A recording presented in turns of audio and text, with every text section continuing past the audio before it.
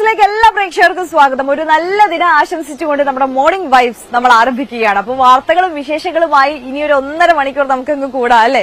അപ്പം പോസിറ്റീവ് ആയിട്ടുള്ള ഒരു മോർണിംഗ് ആണ് പ്രേക്ഷകർക്ക് നമ്മൾ ന്യൂസ് എയ്റ്റീൻ ഈ മോർണിംഗ് വൈബ്സിലൂടെ എല്ലാ ദിവസവും എൻഷുർ ചെയ്യാൻ നോക്കുന്നത്. അപ്പൊ നമ്മൾ ദിവസവും നമ്മളെയൊക്കെ മോട്ടിവേറ്റ് ചെയ്യുന്ന ഇൻസ്പയർ ചെയ്യുന്ന നല്ല കാഴ്ചകൾ നല്ല അതിഥികൾ നല്ല വിശേഷങ്ങളൊക്കെയാണ് മോർണിംഗ് വൈബ്സിൽ പ്രേക്ഷകരിലേക്ക് എത്തിക്കുന്നത്. അതിനോടൊപ്പം പ്രധാനപ്പെട്ട വാർത്തകളും എത്തിക്കും എന്നുള്ളത് പ്രേക്ഷകർക്ക് അറിയാവുന്ന കാര്യമാണ്. അപ്പം ഇന്ന് ഞാൻ എവിടെയാണുള്ളതെന്ന് അറിയാമോ? തിരുവനന്തപുരം ജില്ലയിലെ ശ്രീകാര്യത്തിന് അടുത്തുള്ള പരുത്തിപ്പാറ എന്ന് പറയുന്ന ഒരു സ്ഥലത്താണ് ഞാൻ ഇപ്പോൾ ഉള്ളത്. ഞാനിവിടെ വരാനുണ്ടായ ഒരു കാരണം അതായത് കഴിഞ്ഞ ഒരാഴ്ചയായിട്ട് ഈ തിരുവനന്തപുരം സിറ്റിയിൽ വളരെ ട്രെൻഡിങ് ആയിക്കൊണ്ട് മുന്നോട്ട് പൊക്കോണ്ടിരിക്കുന്ന ഒരു പദ്ധതിയുണ്ട്.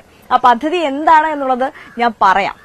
കഴിഞ്ഞ ഇരുപത്തിയഞ്ച് വർഷമായിട്ട് നമുക്കെല്ലാം അറിയാവുന്നതാണ് നമ്മളെ എല്ലാം വിസ്മയിപ്പിച്ചുകൊണ്ടിരിക്കുന്ന ഒരു സ്ത്രീ കൂട്ടായ്മയുണ്ട് അവരുടെ പ്രവർത്തനമുണ്ട്. നമ്മുടെ സ്വന്തം കുടുംബശ്രീ ചേച്ചിമാര്. ലോകത്തെ തന്നെ വിസ്മയിപ്പിക്കുന്ന ലോകത്തിന് തന്നെ മാതൃകയായ നമ്മുടെ സംസ്ഥാന സർക്കാരിന്റെ ഒരു പദ്ധതിയാണ് കുടുംബശ്രീ എന്നുള്ളത് പ്രേക്ഷകർക്ക് ഞാൻ പറയാതെ തന്നെ അറിയാം. എത്രയോ പദ്ധതികളിലൂടെയും പ്രവർത്തനങ്ങളിലൂടെയും ഒക്കെ ദിവസവും ഇപ്പോൾ നമ്മുടെ ദൈനംദിന പ്രവൃത്തികളുടെ ജീവിതത്തിന്റെ ഒക്കെ ഒരു ഭാഗമായിട്ട് അവർ മാറിയിട്ടുണ്ട്. ഈ ദാരിദ്ര്യ നിർമ്മാർജനവും സ്ത്രീ ശാക്തീകരണവും എന്നുള്ള ലക്ഷ്യമിട്ടാണ് ഈ പദ്ധതി ആരംഭിച്ചത് എങ്കിൽ പോലും. നിലവിൽ ഇപ്പൊ അങ്ങനെയല്ല. ഞാൻ പറഞ്ഞതുപോലെ തന്നെ നമ്മുടെ എല്ലാം ഡെയിലി ലൈഫിന്റെ ഒരു പാർട്ടായിട്ട് തന്നെ സന്നദ്ധ പ്രവർത്തനങ്ങൾ നമ്മളുടെ മഹാമാരി കാലത്ത് പോലും അല്ലെങ്കിൽ വല്ലാത്ത പ്രതിസന്ധി ഘട്ടങ്ങളിലെല്ലാം പോലും സന്നദ്ധ പ്രവർത്തനങ്ങളിലൂടെ പോലും നമ്മളോടൊപ്പം കൈത്താങ്ങായി നിന്നതാണ് നമ്മുടെ കുടുംബശ്രീ ചേച്ചിമാര്. വിവിധ പദ്ധതികൾ അവർ പല ഘട്ടങ്ങളിൽ വിവിധ പ്രവർത്തനങ്ങൾ ഒക്കെ നടത്തിയിരുന്നു. ഈ ചേച്ചിമാർക്ക് അതായത് നമ്മുടെ നാട്ടിലെ സ്ത്രീകൾക്ക് ഒരു സ്വയം തൊഴിൽ പരിശീലനം അവരുടെ സ്വന്തം കാലിൽ നിൽക്കാൻ അവരെ പ്രാപ്തമാക്കിയ ഒരു പദ്ധതിയാണ്. അതിന്റെ ഭാഗമായിട്ട് ഒരുപാട് പ്രവർത്തനങ്ങൾ നടന്നിട്ടുണ്ട്. ഏറ്റവും ഒടുവിൽ നമുക്കറിയാം നമ്മുടെ ജനകീയ ഹോട്ടൽ എന്ന് പറയുന്ന ഒരു ജനകീയ പദ്ധതിയിലൂടെ തന്നെ നമുക്കെല്ലാം ദിവസവും ഇരുപത് രൂപയ്ക്ക് ഊണ് തന്ന ഊണ് വിളമ്പിയ ചേച്ചിമാരാണ്. ചില പ്രതിസന്ധികളൊക്കെ ഉണ്ടായി സബ്സിഡി ലഭിക്കുന്നില്ല എന്നുള്ള ചില പരാതികളും പ്രശ്നങ്ങളും ഒക്കെ ഉണ്ടായി. അങ്ങനെയുള്ള പ്രശ്നങ്ങളൊക്കെ ഉണ്ടായിരുന്നെങ്കിൽ പോലും സർക്കാരിന്റെ ഭാഗത്തുനിന്നുണ്ടായെങ്കിൽ പോലും ഈ ചേച്ചിമാർ നടത്തിയ പ്രവർത്തനങ്ങൾ അത് തീർത്തും പ്രശംസനീയമാണ്. നമുക്കെല്ലാം അറിയാവുന്നതുമാണ്. അപ്പോൾ അതേപോലെ തന്നെ മറ്റൊരു പുതിയ പദ്ധതിയുമായി നമ്മുടെ കുടുംബശ്രീ ചേച്ചിമാര് രംഗത്തേക്ക് വന്നിരിക്കുകയാണ്. ഇപ്പോൾ പ്രാരംഭഘട്ടത്തിൽ തിരുവനന്തപുരം ജില്ലയിലെ സിറ്റിയിൽ മാത്രമാണ് ഈ പദ്ധതി ഉള്ളത്. പ്രേക്ഷകർക്ക് ഒരുപാട് പേര് പത്രങ്ങളിലൂടെയും മറ്റ് വാർത്തകളിലൂടെയും ഒക്കെ തന്നെ അറിഞ്ഞിട്ടുണ്ടാവും ഈ പദ്ധതിയെ കുറിച്ചിട്ട്. ലഞ്ച് ബെൽ എന്നുള്ളതാണ് ഈ പദ്ധതിയുടെ പേര്. പോക്കറ്റ് മാർട്ട് എന്ന് പറയുന്ന ഒരു ആപ്പിലൂടെ ലഞ്ച് ബെൽ എന്ന് പറയുന്ന ഒരു പദ്ധതി. അതായത് നമ്മൾ ഈ സ്വിഗ്ഗി സൊമാറ്റോയിലൊക്കെ സാധാരണയായിട്ട് ഫുഡ് ഓർഡർ ചെയ്യാറുണ്ട്. പക്ഷേ ഈ ഫുഡൊക്കെ ഹോട്ടലിൽ നിന്ന് വരുന്നതാണെന്ന് അറിയാം ഇത് അതുപോലെയല്ല ചേച്ചിമാര് സ്വന്തം അടുക്കളയിൽ ഉണ്ടാക്കിയ തനി നാടൻ ഭക്ഷണം. നിങ്ങളുടെ ഓഫീസുകളിലേക്ക് കോളേജുകളിലേക്ക് സ്കൂളുകളിലേക്കും ഒക്കെ ചോറ്റുപാത്രത്തിൽ എത്തിക്കുന്ന പദ്ധതിയാണ്. എത്ര ജനകീയമായ നമുക്കൊക്കെ എന്താ പറയാ നമ്മുടെയൊക്കെ ആരോഗ്യത്തെ സംരക്ഷിക്കുന്ന നമ്മുടെയൊക്കെ ലൈഫ് സ്റ്റൈലിനെ കുറച്ചുകൂടി എളുപ്പമാക്കുന്ന ഒരു പദ്ധതി അല്ലേ? ഇപ്പം ദിവസവും രാവിലെ ഇന്നിപ്പം തിങ്കളാഴ്ച രാവിലെയാണ് എല്ലാവരും ഓഫീസിലോട്ട് പോകാനുള്ള ഓട്ടത്തിലായിരിക്കും. അപ്പം ഇന്നു മുതൽ തിരുവനന്തപുരം സിറ്റിയിലുള്ള ആളുകൾക്ക് അത്യാവശ്യത്തിന് ലഞ്ച് ഒന്നും എടുക്കാതെ ഓഫീസിൽ പോയാലും കുഴപ്പമില്ല. കാരണം വളരെ മിതമായ നിരക്കിലാണ് ചോറ്റുപാത്രത്തിൽ ഈ ഭക്ഷണം നിങ്ങളുടെ ഓഫീസിലേക്ക് എത്തുന്നത് എന്നുള്ളതാണ്. പന്ത്രണ്ട് മണി കൃത്യം പന്ത്രണ്ട് മണിക്ക് ഈ ഭക്ഷണം നിങ്ങളുടെ തീൻമേശയിൽ എത്തും എന്നുള്ളതാണ് ഏറ്റവും വലിയ പ്രത്യേകത. അതായത് സ്റ്റീൽ ലഞ്ച് ബോക്സിലാണ് കൊണ്ടുവരുന്നത്. ഒരു ഉച്ചയ്ക്ക് ഒരു മൂന്ന് മണി ആവുമ്പോഴത്തേക്ക് ചേച്ചിമാര് തന്നെ ഈ പാത്രം തിരികെ എടുത്തോണ്ട് വരികയും ചെയ്യും. കഴുകുക പോലും വേണ്ട. പക്ഷെ ഇവിടെ വന്ന ത്രീ സ്റ്റെപ്പ് ആയിട്ടുള്ള ഒരു ഹൈജീൻ പ്രോസസ്സിലൂടെ വാഷ് ചെയ്തിട്ടുള്ള അത്രത്തോളം ക്ലീൻ നോക്കി ക്ലീൻലിനെസ് നോക്കിയിട്ടുള്ള ഒരു പ്രോസസ്സിലൂടെ തന്നെയാണ് കേട്ടോ ഇതിന്റെ പാചകമാണെങ്കിലും നമ്മുടെ വിതരണമാണെങ്കിലും ഒക്കെ നടത്തുന്നത്. അങ്ങനെ വലിയ ജനകീയമായ ഈ ഒരു പദ്ധതി ഇപ്പം ആരംഭിച്ചിട്ട് ഒരാഴ്ച ആയതേ ഉള്ളൂ. ഒരാഴ്ച ആയപ്പോൾ തന്നെ വളരെ വലിയ സ്വീകാര്യതയാണ് ഇവിടെ ലഭിച്ചുകൊണ്ടിരിക്കുന്നത്. ഒരുപാട് ആളുകൾ ബുക്ക് ചെയ്യുന്നുണ്ട് ഓർഡർ ചെയ്യുന്നുണ്ട്.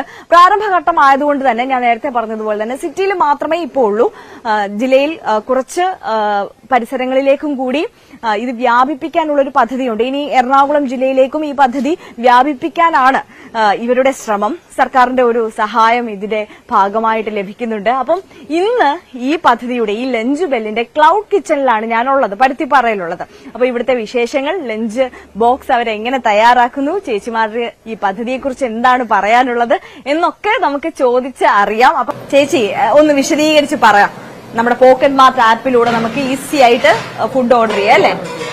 പ്ലേ സ്റ്റോറിൽ നിന്ന് ഡൗൺലോഡ് ചെയ്യാം പോക്കറ്റ് മാർട്ട്. ആ, തിരുവനന്തപുരം ആ. ഒരു Ayurveda college medical college cases ഇങ്ങനെ ഒരു ലൊക്കേഷൻ മാത്രമേ കൊടുത്തിട്ടുള്ളൂ. ലഞ്ച് ബെല്ലം എന്ന് പറയുമ്പം നമ്മുടെ ഒരു ഹോമിലി ഫുഡ് കൊണ്ട് അതിന്റെ അകത്തൊരു ഇതാണ് ടിഫൻ ഒരു വലിയ ടിഫൻ അതിന്റെ അകത്തൊരു കുഞ്ഞു ടിഫൻ അതിന്റെ അകത്ത് ചോറ് അറ്റത്ത് ചമ്മന്തി അച്ചാറ്. അച്ചാർ പിന്നെ ഒരു ടിഫൻ ചെറുത്. അതിന്റെ സാമ്പാർ പിന്നെ ഒരു ടിഫൻ പുളിശ്ശേരിയോ രസമോ മോരോ പിന്നെ ഒരു ടിഫൻ മീൻകറി നോണിനുള്ള. പിന്നെ ഞങ്ങൾ ഇലയിൽ പൊതിഞ്ഞ് അവിയൽ പിന്നെ ഒരു തോരൻ. ഇത് മാറി മാറി ഓരോ ദിവസവും മാറി മാറി വരും. രണ്ട് തരത്തിലുള്ള ഒരു ഫുഡ് ഓപ്ഷൻ ഉണ്ടല്ലേ? ഒന്ന് വെജിറ്റേറിയൻ പിന്നെ ഒന്ന് നോൺ വെജിറ്റേറിയൻ എങ്ങനെ ഇതിന്റെ റേറ്റ് ഒക്കെ? ഇത് നോണിന് തൊണ്ണൂറ്റൊമ്പത് പ്ലസ് ജി എസ് ടി വെജിന് അറുപത് പ്ലസ് ജി എസ് ടി ഓ അത് ശരി. അപ്പം ഇപ്പോൾ ഈ സിറ്റിക്കുള്ളിലെ ഇത്രയും ചെറിയ ഏരിയയ്ക്കുള്ളിൽ മാത്രമേ ഉള്ളെങ്കിലും വരും ദിവസങ്ങളിൽ വിപുലീകരിക്കും അല്ലേ? അപ്പം ഇതെങ്ങനെ ഓഫീസുകൾ കേന്ദ്രീകരിച്ചാണോ ഇപ്പം ലഞ്ച് ബോക്സ് വീടുകളിലും ചെയ്യണുണ്ട്. വീടുകളിലും ചെയ്യണല്ലേ ഓ. അത് ശരി. ഈ സ്റ്റീൽ ബോക്സ് എടുക്കാനുള്ള ഒരു കാരണം എന്താ? വേസ്റ്റിന്റെ പ്രശ്നം പിന്നെ പ്ലാസ്റ്റിക്കിന്റെ. പ്ലാസ്റ്റിക്കിന്റെ. ഒരു പ്ലാസ്റ്റിക് കുറച്ച് ദിവസം ഉപയോഗിച്ച് കഴിയുമ്പോൾ അതിനൊരു കേടുപാട് വരും പിന്നെ അത് കളയേണ്ടി വരും. ശീലാകുമ്പോൾ നമുക്ക് ഒത്തിരി നാൾ അത് അങ്ങനെ തന്നെ ഇരിക്കും. ഈ ലഞ്ച് ബെൽ എന്ന് പറയുന്ന ഈ ഒരു പുതിയ കോൺസെപ്റ്റ് ഉണ്ടല്ലോ. ഇതിലേക്ക് എത്തുന്നത് എങ്ങനെ? ഇത് സർക്കാർ മുന്നോട്ട് വെച്ച ഒരു കോൺസെപ്റ്റ് ആണോ അത് അതെ? ആണ്. ആ. അതിൽ കുടുംബശ്രീ ചേച്ചിമാരെ അത് ഏൽപ്പിക്കുകയായിരുന്നു. ആ ശരി ശരി ശരി. അപ്പൊ ഇന്നത്തെ വിഭവങ്ങൾ എന്തൊക്കെയാ? ഇന്ന് സാമ്പാർ പുളിശ്ശേരി തീയൽ കറി. തോരൻ മീൻകറി പുളിഞ്ചിക്ക അച്ചാറ് ചമ്മന്തി. അപ്പൊ മിനിമം മുട്ട ഇതിന്റെ അടുത്ത് മുട്ടയും കൂടെ കൊടുക്കുന്നുണ്ട്. ഓ അത് ശരി. അത് നോൺ വെജ് പ്രീമിയത്തിൽ വരും അല്ലേ? അപ്പം മിനിമം ഒരു ദിവസം എത്ര കറികൾ ഉണ്ടാവും മിനിമം രണ്ട് ഒഴിച്ചുകറിയും രണ്ട് തൊടുകറിയും പിന്നെ രണ്ട് ചമ്മന്തിയും അച്ചാറും. പിന്നെ മീൻകറിയുണ്ട്. നോണിന് പിന്നെ ഒരു ഓംലേറ്റും ഉണ്ട്. വെജിന് ഈ ഓംലേറ്റും മീൻകറിയും മാറ്റിയിട്ട് ബാക്കി എല്ലാ ഐറ്റം അപ്പം ഇത് എങ്ങനെയാ നമ്മൾ ബുക്ക് ചെയ്യേണ്ടത്? ഈ പോക്കറ്റ് മാർട്ട് ആപ്പിൽ നേരത്തെ തലേ ദിവസമേ ബുക്ക് ചെയ്യണം അല്ലേ? നമുക്ക് ഇന്ന് ഏഴ് മണി വരെ ഉണ്ട്. ഇന്ന് രാവിലെ അതായത് ഇന്ന് ഉച്ചയ്ക്കാണ് നമുക്ക് ലഞ്ച് വേണ്ടത് എന്നുണ്ടെങ്കിൽ ഇന്ന് രാവിലെ ഏഴ് മണി വരെയാണ് അത് ബുക്ക് ചെയ്യാനുള്ള ഒരു അവസരമുള്ളത് കേട്ടോ. ഏഴ് മണി കഴിഞ്ഞാൽ പിന്നെ ബുക്ക് ചെയ്യാൻ പറ്റില്ല. കാരണം ചേച്ചിമാർ അപ്പോഴത്തേക്ക് ആളുകളുടെ എണ്ണം അനുസരിച്ച് കുക്കിംഗ് തുടങ്ങി കഴിഞ്ഞിട്ടുണ്ടാവും. അല്ലേ? അപ്പം ഒരു മാസത്തേക്ക് വേണമെങ്കിലും നമുക്ക് ബുക്ക് ചെയ്യാം. ഒരു ദിവസത്തേക്ക് വേണമെങ്കിലും ബുക്ക് ചെയ്യാം അല്ലേ? അപ്പൊ ഒരു മാസത്തേക്ക് ബുക്ക് ചെയ്യാനുള്ള ഓപ്ഷൻ ഈ ആപ്പിൽ തന്നെ ഉണ്ടോ? അതിൽ നമ്മൾ കൊടുത്താൽ മതി അല്ലേ? ഓ ശരി ശരി. അപ്പം ഇതിലിപ്പോ നിങ്ങളുടെ ഒരു കോൺട്രിബ്യൂഷൻ എങ്ങനെയാ വരുന്നത് ഈ ഒരു പാചകം ചെയ്ത് ഫുഡ് നൽകുന്നു എന്നുള്ള ഈ ബാക്കി പാത്രങ്ങൾ അങ്ങനെയുള്ള ഒരു ഇനിഷ്യൽ എമൗണ്ട് ഒക്കെ സർക്കാരിന്റെ ഭാഗത്തു നിന്നാണ് കിട്ടിയത്? ഈ ടിഫന് കൊണ്ടുപോയ വൃത്തിയാക്കിയതിന് ശേഷം ഇവിടെ വരുള്ളൂ. പിന്നെ ഇത് വേറൊരു സ്ഥലത്താണ് അതിന്റെ വൃത്തി കഴുകുന്ന ഇതെല്ലാം. ശരി ശരി ശരി.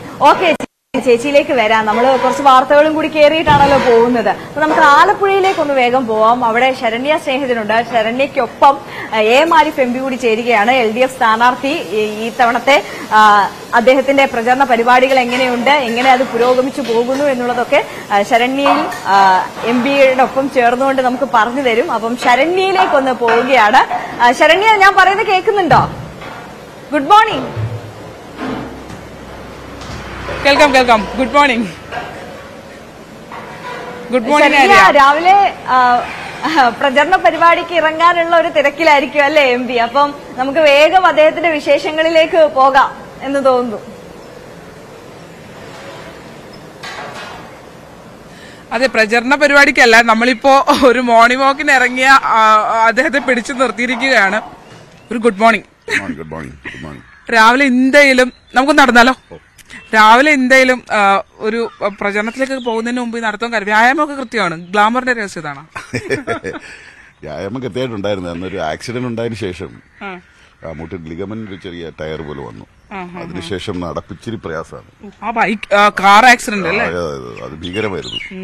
അത് ഒരു ദൈവത്തിന്റെ അനുഗ്രഹം കൊണ്ട് രക്ഷപ്പെട്ടതാണ്. ശരിക്കും ആ വണ്ടി കണ്ടപ്പോ നമ്മൾ പേടിച്ചു പോയി. അത്രയും അല്ലേ? ഉറങ്ങിപ്പോയതാണോ അന്ന്? ഉറങ്ങിപ്പോയത്. ആ തലേ ദിവസം ഒരു മെരിറ്റ് അവാർഡ് ഉണ്ടായിരുന്നു. അന്നത്തെ ദിവസം രാവിലെ തൊട്ടൊന്നും കഴിക്കാതെ രാത്രി പോലും ഒന്നും കഴിക്കാതെ നാരങ്ങ വെള്ളം കുടിച്ചോണ്ടിരുന്നു അത് ഞാൻ ഞാൻ എപ്പോഴും ആരിഫിക്കാൻ ശ്രദ്ധിച്ചിട്ടുണ്ട്. ഈ പലപ്പോഴും ഡ്രൈവ് ചെയ്യുമ്പോൾ ഒറ്റയ്ക്കാണ്. ഈ എം പി ആണ് ഒരുപാട് സ്ഥലത്ത് പരിപാടിക്ക് പോകാറുണ്ട്. അപ്പൊ ഒറ്റയ്ക്ക് ചേർത്തലല്ല ഡ്രൈവറുടെ വീട്. അപ്പൊ വടക്കോട്ട് പോകുമ്പോൾ മാത്രം അവനോട് ഇവിടെ നിന്നോളാൻ പറയും. അവിടെ ചെന്നെടുക്കും. അവിടെ ചെന്നങ്ങ് പിക്ക് ചെയ്യുക. കാര്യം അവൻ രാവിലെ ഇവിടെ ഓടി വന്നിട്ട് പിന്നെ അങ്ങോട്ട് ഓടണ്ടല്ലോ എന്ന് വിചാരിച്ചിട്ടാണ് ആ ഒരു ഒരു ഒരു എന്താ പറയാ റിലാക്സ് ചെയ്യുന്നത്. അപ്പൊ നമ്മളും ഡ്രൈവിംഗ് മറക്കാതിരിക്കുകയല്ലോ. വല്ലപ്പോഴേ ഉള്ളൂ. രാവിലെ അങ്ങോട്ട് തെക്കോട്ടാ പോകുന്നെങ്കിൽ രാവിലെ ഇഞ്ഞ് വരും.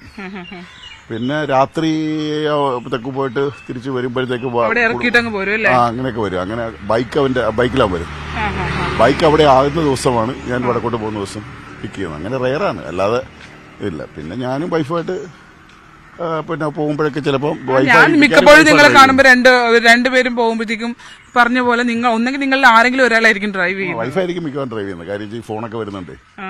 എടുക്കാൻ പറ്റാത്തതുകൊണ്ട് അങ്ങനെ ആയിരിക്കും ഇങ്ങനെയുണ്ട് പ്രചരണത്തിന്റെ ചൂട്. ഏറ്റവും തിരക്ക് പിടിച്ച അല്ലെങ്കിൽ ഏറ്റവും ചൂട് പിടിച്ച മണ്ഡലങ്ങളിൽ ഒന്നാണ് ആലപ്പുഴ ആലപ്പുഴ നല്ല ശ്രദ്ധേയമായ ഒരു മണ്ഡലമായി മാറി. അത് നല്ലതാണ് അതെ എനിക്ക് എനിക്കൊന്ന് കേരളത്തിലെ ഏറ്റവും ശ്രദ്ധേയമായ മത്സരം നടക്കുന്ന ഒരു മണ്ഡലം കൂടിയാണ്. അതെ അതെ അത്. അതിനകത്ത് വേറെ പ്രത്യേകത കൂടി ഉണ്ടായിരിക്കാം നമുക്കറിയാലോ കഴിഞ്ഞ തവണ വലത് തരംഗം ഇങ്ങനെ ആഞ്ഞു വീശിയ സമയത്തും എ മാരിഫ് ആ ഇടതുപക്ഷ സീറ്റ് നിലനിർത്തി എന്നുള്ളതാണ്.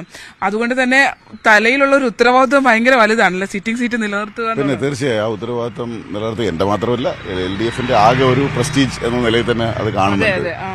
പിന്നെ പ്രഗത്ഭരൊക്കെ മത്സരിക്കുക എന്ന് പറഞ്ഞാൽ അവരുടെ സ്റ്റാർ മണ്ഡലത്തിലാണല്ലോ ഞാൻ തുടക്കം. അതായത് ഗൗരിയമ്മയുമായിട്ടല്ലേ ബഹുമാനപ്പെട്ട ഗൗരിയമ്മയുമായിട്ട് അരൂരിൽ മത്സരിച്ച് അല്ലേ ഫസ്റ്റ് മത്സരം അല്ലേ ആ നിയമസഭയിലേക്കുള്ള ആദ്യ മത്സരം അവിടെ നിന്നാണ് അതിന് മുമ്പ് ജില്ലാ കൗൺസിലേക്ക് ജയിച്ചിട്ടുണ്ട്.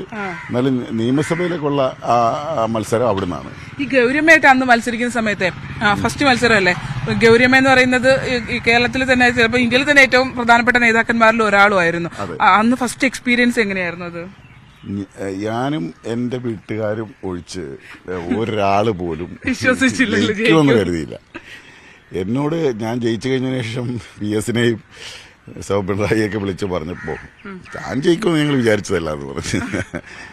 പക്ഷെ എനിക്ക് ഉറപ്പുണ്ടായിരുന്നു. ഞാനും എന്റെ വൈഫും കൃത്യം പറഞ്ഞു ജയിച്ചിരിക്കും ഇത്ര വോട്ടിന്റെതായിരിക്കും എന്ന് പറഞ്ഞു. അന്ന് നിങ്ങൾ അരൂർ അരൂർ കേന്ദ്രീകരിച്ച് അരൂരിലേക്ക് പാർട്ടി നിയോഗിച്ചിട്ട് പോകുന്നതാണോ? അതോ അരൂർ കേന്ദ്രീകരിച്ചിട്ടുള്ള ബന്ധങ്ങൾ ഉണ്ടായിരുന്നോ അല്ല ഈ അരൂര് ഉൾപ്പെടുന്ന പ്രദേശം എന്ന് പറയുന്നത് ചേർത്തലയും അരൂരും തമ്മിൽ ഉള്ള കിഴക്കൻ ഭാഗം.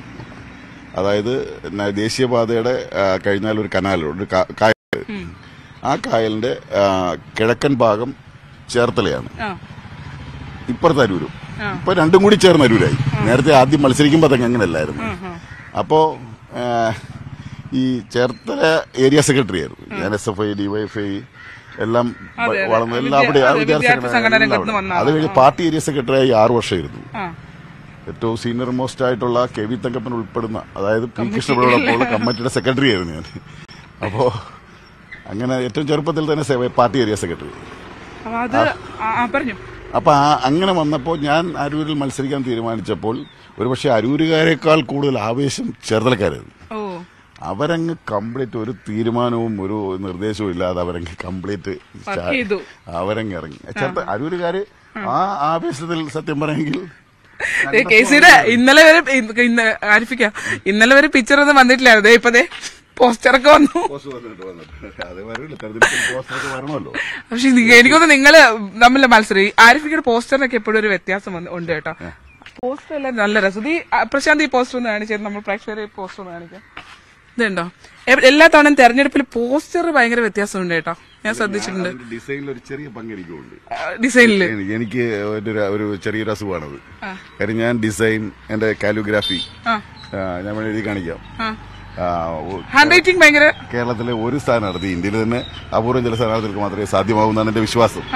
കാര്യം ആ, അതെനിക്കറിയില്ല. അതൊന്ന് പറഞ്ഞു. അത് കാലിഗ്രാഫി എന്റെ ചെറുപ്പം മുതലേ തന്നെ സർട്ടിഫിക്കറ്റുകൾ എഴുതുക അതിങ്ങനെയുള്ള ഇതെല്ലാം. അതൊരു ടോൺ കളർ ടോൺ ഒക്കെ നല്ല രസമാണ് അതെ അതെ അതെ. അതെപ്പോഴും ഞാൻ എങ്ങനെയുണ്ട് എങ്ങനെയുണ്ട് നിങ്ങളുടെ സ്ഥാനാർത്ഥി എങ്ങനെയുണ്ട്? ചേട്ടാ സ്ഥാനാർത്ഥി? നമ്മുടെ സ്ഥാനാർത്ഥി എന്ന് നമ്മുടെ ഇവിടെ എന്തായാലും അത് നടക്കിറങ്ങിയത് മണ്ഡലത്തിൽ ആൾ അപ്പൊ എന്തായാലും ഈ പോസ്റ്ററുകൾ ഭയങ്കര വ്യത്യാസമായിട്ടുള്ള ഒരു പോസ്റ്ററാണ്. അതെ കഴിഞ്ഞ എന്റെ പോസ്റ്ററിന് ഇന്ത്യയിലെ ആയിരത്തി അറുന്നൂറോളം പ്രിന്റിംഗ് പ്രസ്സുകൾ പക്ക- പങ്കെടുത്ത ബാത്ര അവാർഡ് കോമ്പറ്റീഷനിൽ നമ്പർ വൺ ആയി തിരഞ്ഞെടുത്ത എന്റെ പോസ്റ്റർ. കഴിഞ്ഞോ? അത് ഇങ്ങനെ ഒരു സംഭവം ഉണ്ടെന്ന് നമ്മൾ അറിഞ്ഞില്ല കേട്ടോ. മാധ്യമങ്ങൾ എപ്പോഴും നമുക്ക് പറ്റി പ്രാധാന്യം തരത്തില്ലല്ലോ. അല്ല നമ്മൾ ഞാൻ എപ്പോഴും ശ്രദ്ധിച്ചിട്ടുണ്ട്. കൊടുക്കത്തുള്ളൂ. അങ്ങനെയല്ല കേട്ടോ. അങ്ങനെയൊന്നുമല്ല. എല്ലാവരും ശ്രദ്ധിക്കുന്ന ഒരു സ്ഥാനാർത്ഥി ഒരു എം പി ആയിരുന്നു. കാരണം എന്ന് വെച്ചാൽ കനലൊരു തരി ആണല്ലോ. ഈ പോസ്റ്റർ പക്ഷെ ഞാൻ എപ്പോഴും ശ്രദ്ധിച്ചിട്ടുണ്ട്. പോസ്റ്ററിന് ഒരു ഭയങ്കര ഡിഫറൻസ് നല്ല നല്ല ടോൺ ആണ്. ഇറക്കിയാൽ പോലും എനിക്ക് എന്റെ ഒരു ടച്ച് വരണമെന്ന് എനിക്ക് അത് ഞാൻ കേട്ടിട്ടുണ്ട്. അതായത് ആരിഫിക്ക് ഫേസ്ബുക്ക് പോസ്റ്റുകളാണെങ്കിലും പിന്നെ അതുപോലെ തന്നെ ഈ പറഞ്ഞ പോലെ സ്വന്തം പോസ്റ്റർ ആണെങ്കിലും ഇത്തരം ഈ പരിപാടിയുടെ പോസ്റ്റർ ആണെങ്കിൽ പോലും അല്ലെ? അതിനകത്ത് അതിന്റെ കൺസ്ട്രക്ഷൻ ഇപ്പൊ സാധാരണ നമ്മുടെ ബിൽഡിംഗ് കൺസ്ട്രക്ഷൻ എല്ലാം ഈ പി ഡബ്ല്യു ഡി ബിൽഡിംഗ്സ് വിഭാഗം ചുമ്മാ തീപ്പെട്ടിക്കൂടിന്റെ മാതൃകയിലെ ചെയ്യത്തുള്ളൂ. ഒരു കെട്ടിടത്തിന് അതെ അതെ അതെ. എനിക്കത് ഇഷ്ടമല്ല ഞാനതെല്ലാം പുറത്തു കൊടുത്താ വരപ്പിക്കുന്നത്. ആർക്കിടെക്ട് ഫ്രീ ആയിട്ട് വരച്ചു തരും. വളരെ ഫേമസ് ആയിട്ടുള്ള ആർക്കിടെക്റ്റുകളെ കൊണ്ട് വരപ്പിച്ചിട്ടാണ് ഞാൻ ചെയ്യുന്നത്. അപ്പൊ എന്താ വെച്ചാൽ ആ ബിൽഡിംഗ് കണ്ടാൽ ഒരു ഐശ്വര്യം ഉണ്ടാവും. ഇപ്പൊ ആലപ്പുഴ പി ഡബ്ല്യു ഡിയുടെ ഒരു ഒരു ഒരു ഒരു ചെറിയ ഒരു ഒരു കോടി രൂപയ്ക്ക് നിർമ്മിച്ച ഒരു വൈകോര വിശ്രമ കേന്ദ്രമുണ്ട് അപ്പൊ കാരെ വരച്ചു കൊണ്ടുവന്നപ്പോ അവർ സാധാരണഗതിയിൽ പിന്നെ വരച്ച് കൊണ്ടുവന്നു. അടുത്ത ആൾ. ശോഭാ സുരേന്ദ്രൻ. എന്താ പറയാനുള്ളത് അല്ല അവർ പിന്നെ വലിയ നേതാവല്ലേ? അതുകൊണ്ടല്ലേ നിങ്ങൾ പറയുന്ന പോലെ വളരെ ശ്രദ്ധേയമായ മണ്ഡലമായി ഇതൊന്നും അല്ല അവർ അത്യാവശ്യം നന്നായി നന്നായി സംസാരിക്കുകയും എല്ലാ തവണ- തവണയും വോട്ട് നില ഉയർത്തുകയൊക്കെ ചെയ്തിട്ടുള്ള ഒരു ബി ജെ പിയുടെ തന്നെ ഒരു വളരെ മൂല്യമുള്ള ഒരു സ്ഥാനാർത്ഥിയാണ്. ഒരു വോട്ട് നില ഉയർത്തുപോയോ എനിക്ക് സംശയമാണ് കാര്യം. നമുക്ക് രാഷ്ട്രീയത്തിലേക്ക് പോവുകയാണെങ്കിൽ ഇപ്പോഴത്തെ ഒരു എങ്ങനെയുണ്ട് ആലപ്പുഴ മണ്ഡലത്തിന്റെ ഒരു കിടപ്പ്? ആലപ്പുഴ മണ്ഡലത്തിൽ നമ്മുടെ കഴിഞ്ഞ തവണ ഞാൻ ബഹുമാനപ്പെട്ട കെ സി വേണുഗോപാലുമായിട്ട് മത്സരിക്കാനാണ് എന്നെ തീരുമാനിച്ചത്. സിറ്റിംഗ് എം പി അതെ അതെ അതെ ആദ്യഘട്ടത്തിൽ എനിക്ക് ഒന്ന് കെ സിക്ക് വേണ്ടി പോസ്റ്ററുകൾ വരെ വന്നിട്ടുള്ള പിന്നെ സാധാരണ ഉള്ള പുള്ളി ഈവന്റ് മാനേജ്മെന്റ് വെച്ചാണല്ലോ വർക്കെല്ലാം ചെയ്യുന്നത്. അപ്പൊ അതിനനുസരിച്ചുള്ള വർക്കെല്ലാം പുള്ളി നേരത്തെ തന്നെ നടത്തിയിരുന്നു. സൈക്കിൾ ചവിട്ടുന്നു അവിടെ പോകുന്നു ഇവിടെ പോകുന്നു അങ്ങനെയൊക്കെ കുറച്ച് കാര്യങ്ങളൊക്കെ പുള്ളി ചെയ്തിരുന്നു. അപ്പോ അപ്പോഴാണ് പുതിയ അദ്ദേഹമായിട്ട് മത്സരിക്കാൻ എന്നെ തീരുമാനിച്ചു. അപ്പൊ അദ്ദേഹം അന്ന് പറഞ്ഞിരുന്നത് ഭാരിച്ച ഉത്തരവാദിത്തം ഡൽഹിയിലുള്ളതുകൊണ്ട് പാർട്ടി എന്നെ മത്സരിപ്പിക്കുന്നില്ല ഞാൻ മത്സരിക്കുന്നില്ല എന്നാണ് പറഞ്ഞത്. ഇപ്പൊ മനസ്സിലായി ഈ ഡൽഹിയിൽ പ്രത്യേകിച്ച് ഉത്തരവാദിത്തമൊന്നുമില്ല അല്ലെങ്കിൽ അന്ന് പറഞ്ഞത് സത്യ സത്യമാണ് കുറച്ചുകൂടെ കൂടിയൊരു സമയമാണല്ലേ അതെ ഭാരിച്ച ഉത്തരവാദിത്വം വളരെ ഭാരിച്ച ഉത്തരവാദിത്വമായിട്ടാണ്. ഇപ്പൊ എനിക്ക് തോന്നുന്നു ടൈംസ് നവ് പോലുള്ള ചെറിയ വലിയ പിന്നെ സർവേക്കാരെല്ലാം പറഞ്ഞത് അമ്പത്തിരണ്ട് പോലും കിട്ടത്തില്ല. കഴിഞ്ഞ അമ്പത്തിരണ്ട് കിട്ടി. നാൽപ്പത്തിരണ്ടേ കിട്ടാൻ ഇടയുള്ളൊന്ന് മനസ്സിലാക്കിയപ്പോ അവിടെ നിന്നാൽ ഇതിന്റെ ഈ തോൽവിയുടെ ഉത്തരവാദിത്തം മുഴുവൻ ഓർഗനൈസേഷൻ സെക്രട്ടറിയുടെ തലയിലോട്ട് വരുമല്ലോ എന്ന് കരുതിയുള്ള ഒരു ജമ്പിങ് ആയിരിക്കും ചിലപ്പോൾ ഇപ്പൊ ഈ ബി പിന്നെ ഞാൻ ശ്രദ്ധിച്ചൊരു കാര്യം എന്ന് പറഞ്ഞാൽ നമ്മുടെ ഫേസ്ബുക്കിലൊക്കെ നടക്കുന്ന ഒരു ക്യാമ്പയിൻ ഉണ്ട്. അതായത് കെ സി വേണുഗോപാൽ വിജയിച്ചാൽ രാജ്യസഭാ സ്ഥാനാർത്ഥിത്വം ആ, ആ രാജ്യ രാജ്യസഭാ അംഗം എന്നുള്ള രീതിയിൽ അത് ബി ജെ പിക്ക് കൊടുക്കേണ്ടി വരും എന്നൊക്കെ പറഞ്ഞു. പക്ഷെ നമ്മൾ സത്യം പറഞ്ഞാൽ ഇടതുപക്ഷം അങ്ങനെ ഒരു ക്യാമ്പയിൻ നടത്തുന്നത് ശരിയാണോ? കാരണം ഒരാൾ ജയിക്കുന്നു എന്നുള്ളൊരു ചിന്തയല്ലേ അതിൽ കൊടുക്കുന്നത്? അല്ലല്ല ജയിച്ചാൽ ജയി- അങ്ങനെയുള്ള ആളെ ജയിപ്പിക്കരുത്. എന്നാണ് അതിന്റെ മെസ്സേജ് അത്രേ ഉള്ളൂ. ജയിപ്പിച്ചാൽ സംഭവിക്കാൻ പോകുന്നത് ബി ജെ പിക്ക് അബ്സല്യൂട്ട് മെജോറിറ്റി രാജ്യസഭയിൽ കിട്ടുന്നതിന് ഇടവരും. അപ്പൊ ആ സാഹചര്യം കണക്കിലെടുത്ത് ജയിപ്പിക്കാതിരിക്കാൻ ബി ജെ പി ഇന്ത്യ രാജ്യത്ത് ശക്തി പ്രാപിക്കരുതെന്ന് ആഗ്രഹിക്കുന്ന കോൺഗ്രസ്സുകാരടക്കം ചിന്തിക്കാൻ വേണ്ടി പറയുന്നതാണ്. നിങ്ങൾ എന്തായാലും ഒരു എല്ലാവരും ഇന്ത്യ മുന്നണിയായിട്ടാണല്ലേ പോകുന്നത്? അപ്പം സത്യം പറഞ്ഞാൽ ഇന്ത്യ മുന്നണിക്ക് ഇപ്പോൾ ഒരു പ്രകടന പത്രികയോ കാര്യങ്ങളോ ഒന്നും വന്നിട്ടില്ല ഇവിടെ ഭയങ്കര മത്സരമാണെങ്കിൽ നിങ്ങൾ എല്ലാവരും അവിടെ പോയി ഒരുമിച്ചിരിക്കേണ്ട ആളുകളാണ്. അല്ലേ? അവർ ഇപ്പൊ നമ്മൾ ഇവിടെ ആലപ്പുഴയ്ക്ക് ഇടതുപക്ഷത്തിന്റെ ഒരു സ്ട്രെങ്ത് എന്താണ്? ഒന്ന് എ എം ആരിഫ് തന്നെയാണ് ഏറ്റവും വലിയ സ്ട്രെങ്ത് കാരണം പല ഘട്ടങ്ങളിലും വലിയ മത്സരം നടക്കുന്ന ഘട്ടത്തിലും എല്ലാം ആരിഫ് അതിനെ മറികടന്ന് വന്നിട്ടുണ്ട്. നമ്മൾ ഇത്തവണ നിങ്ങൾ വെക്കുന്ന ആശയങ്ങൾ എന്തൊക്കെയാണ്? എന്തൊക്കെ കാര്യങ്ങൾ നമുക്ക് ഇടപെടാൻ കഴിയുമെന്നൊക്കെയാണ് ആരിഫിക്ക് കരുതുന്നത്? ഞാൻ യഥാർത്ഥത്തിൽ നമ്മുടെ ദേശീയ രാഷ്ട്രീയത്തിൽ പാർലമെന്റിൽ കണ്ട ഒരു കാഴ്ച മറ്റേ നമ്മുടെ കെ സുധാകരൻ പറഞ്ഞതുപോലെ പാർലമെന്റിൽ ഒരു ഏകോപനം ഉണ്ടായിരുന്നില്ല. പ്രതിപക്ഷം ഒരു ഏകോപനം ഉണ്ടായിരുന്നില്ല. അപ്പൊ ആ ഏകോപനത്തിന് വേണ്ടിയാണ് വരുന്നതെന്ന് പറഞ്ഞാൽ കെ- സി വേണുഗോപാൽ മത്സരിപ്പിക്കുന്നു കണ്ട എന്തൊരു ഇന്റർവ്യൂവിൽ അദ്ദേഹം പറഞ്ഞു പറയുന്നത് കേട്ട്. കെ സി വേണുഗോപാൽ മത്സരിക്കുന്നത്. ഇപ്പൊ രാഹുൽ ഗാന്ധി മോശക്കാരനാക്കിയല്ലേ പുള്ളി? ഏതാ. രാഹുൽ ഗാന്ധിയെ തീർന്നും മോശക്കാരനാക്കി. രാഹുൽ ഗാന്ധിയുള്ള പാർലമെന്റിൽ ഏകോപിപ്പിക്കാൻ കഴിയാതെ വന്നു കഴിഞ്ഞാൽ ഏഹ് ശശി തരൂർ മോശക്കാരനാണ്? ഇവരാർക്കും ഏകോപിക്കാൻ കഴിയാതെ അവരെക്കാളൊക്കെ ഇദ്ദേഹമാണ് വലുതെന്ന് പറയുന്ന രീതിയിലൊക്കെ സംസാരിക്കുന്നതല്ല. അവിടെ ഒരു പ്രതിപക്ഷ ഏകോപനം ഉണ്ടായിരുന്നില്ല.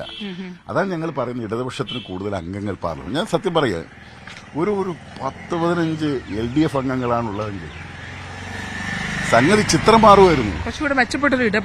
ഭയങ്കരമായിരുന്നു. നമ്മൾ ഈ S F I F I വരുന്ന അതുവഴി വന്നിട്ടുള്ള കേഡർമാരാണല്ലോ ഞങ്ങൾ മത്സരിക്കുന്നത്. അപ്പൊ അതിന്റെ ഒരു സ്പിരിറ്റ് കാണിക്കുമായിരുന്നു ഏതാ?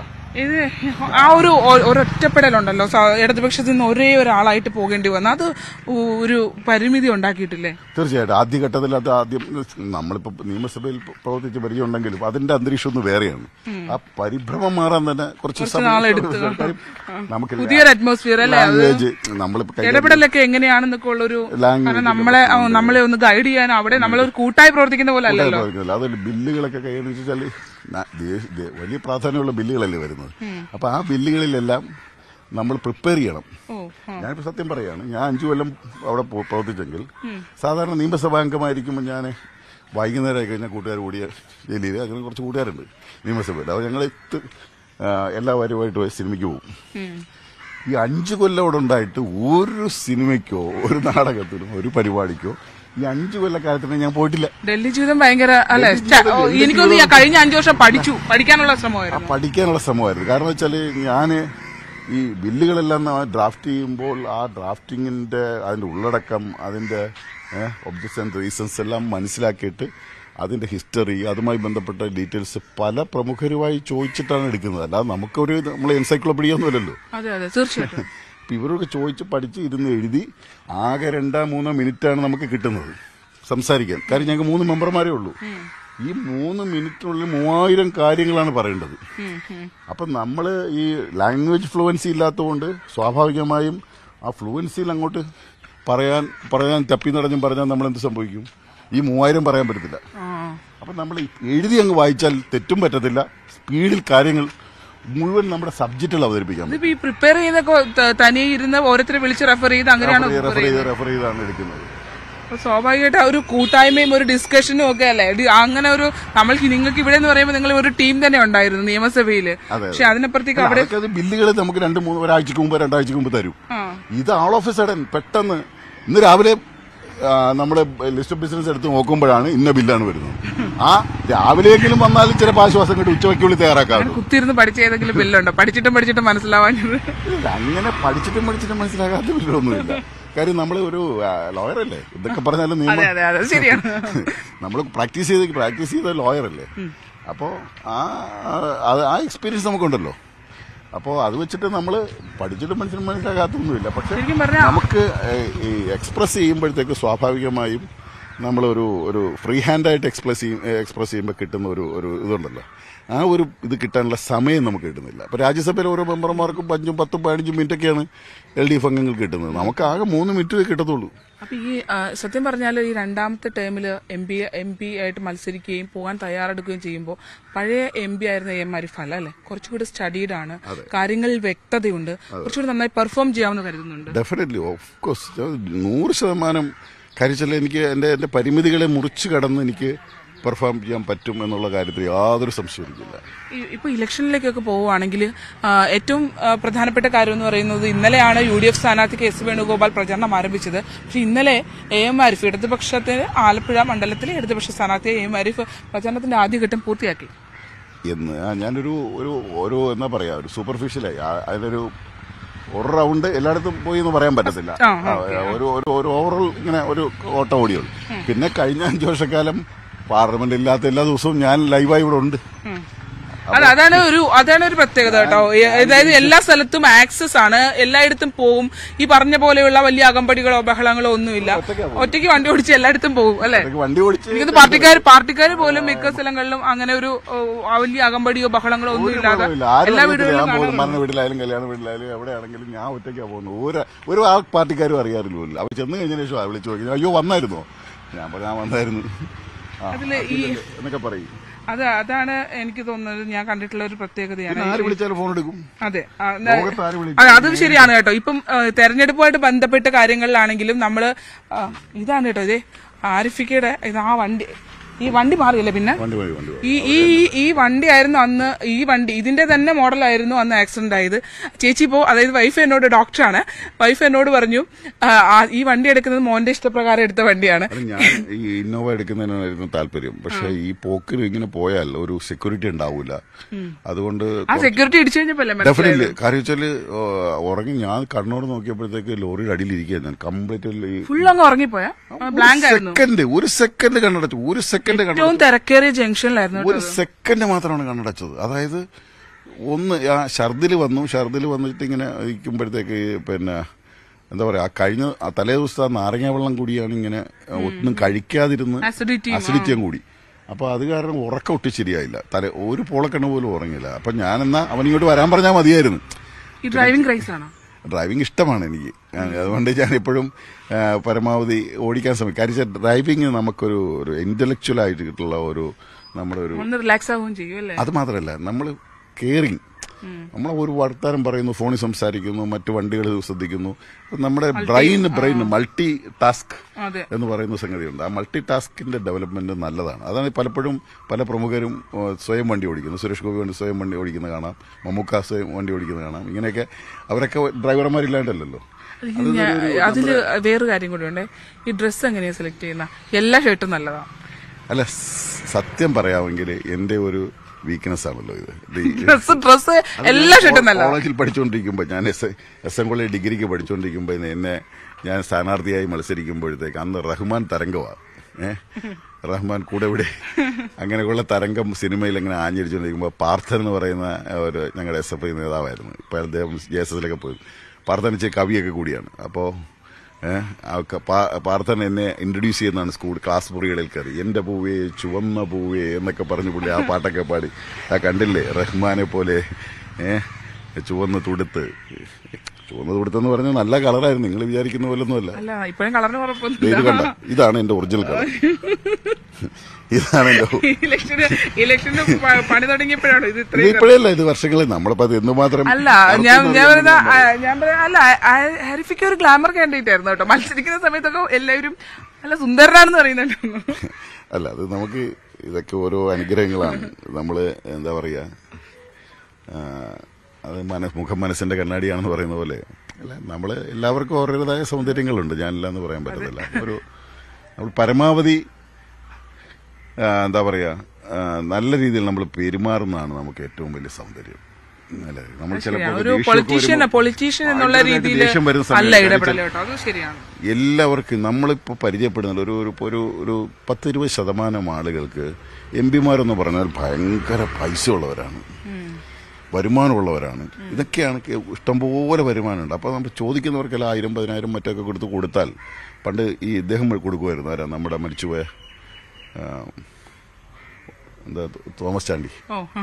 വീട്ടിൽ വന്ന ഒരാളെ പോലും പുള്ളി ഒരു പൈസ കൊടുക്കാതെ വിടത്തില്ല. പത്തിന് രണ്ടായിരം ഇതൊക്കെ കണ്ടുകൊണ്ടാണ് ഇവിടെ വരുന്നത്. ഇവിടെ വരുമ്പോൾ നമുക്ക് ഇരുന്നൂറ് രൂപ കൊടുക്കാൻ പറ്റത്തില്ല. അപ്പോൾ ഈ ഓരോ നേരം വെളുത്താൽ ഏറ്റവും കൂടുതൽ നമുക്ക് ഇറിറ്റേഷൻ ഉണ്ടാകുന്നു സാറേ വീട് സാറേ ജോലി സാറേ മരുന്നിന് പൈസ സാറെ കല്ല് കെട്ടിച്ചു വിടണം പൈസ.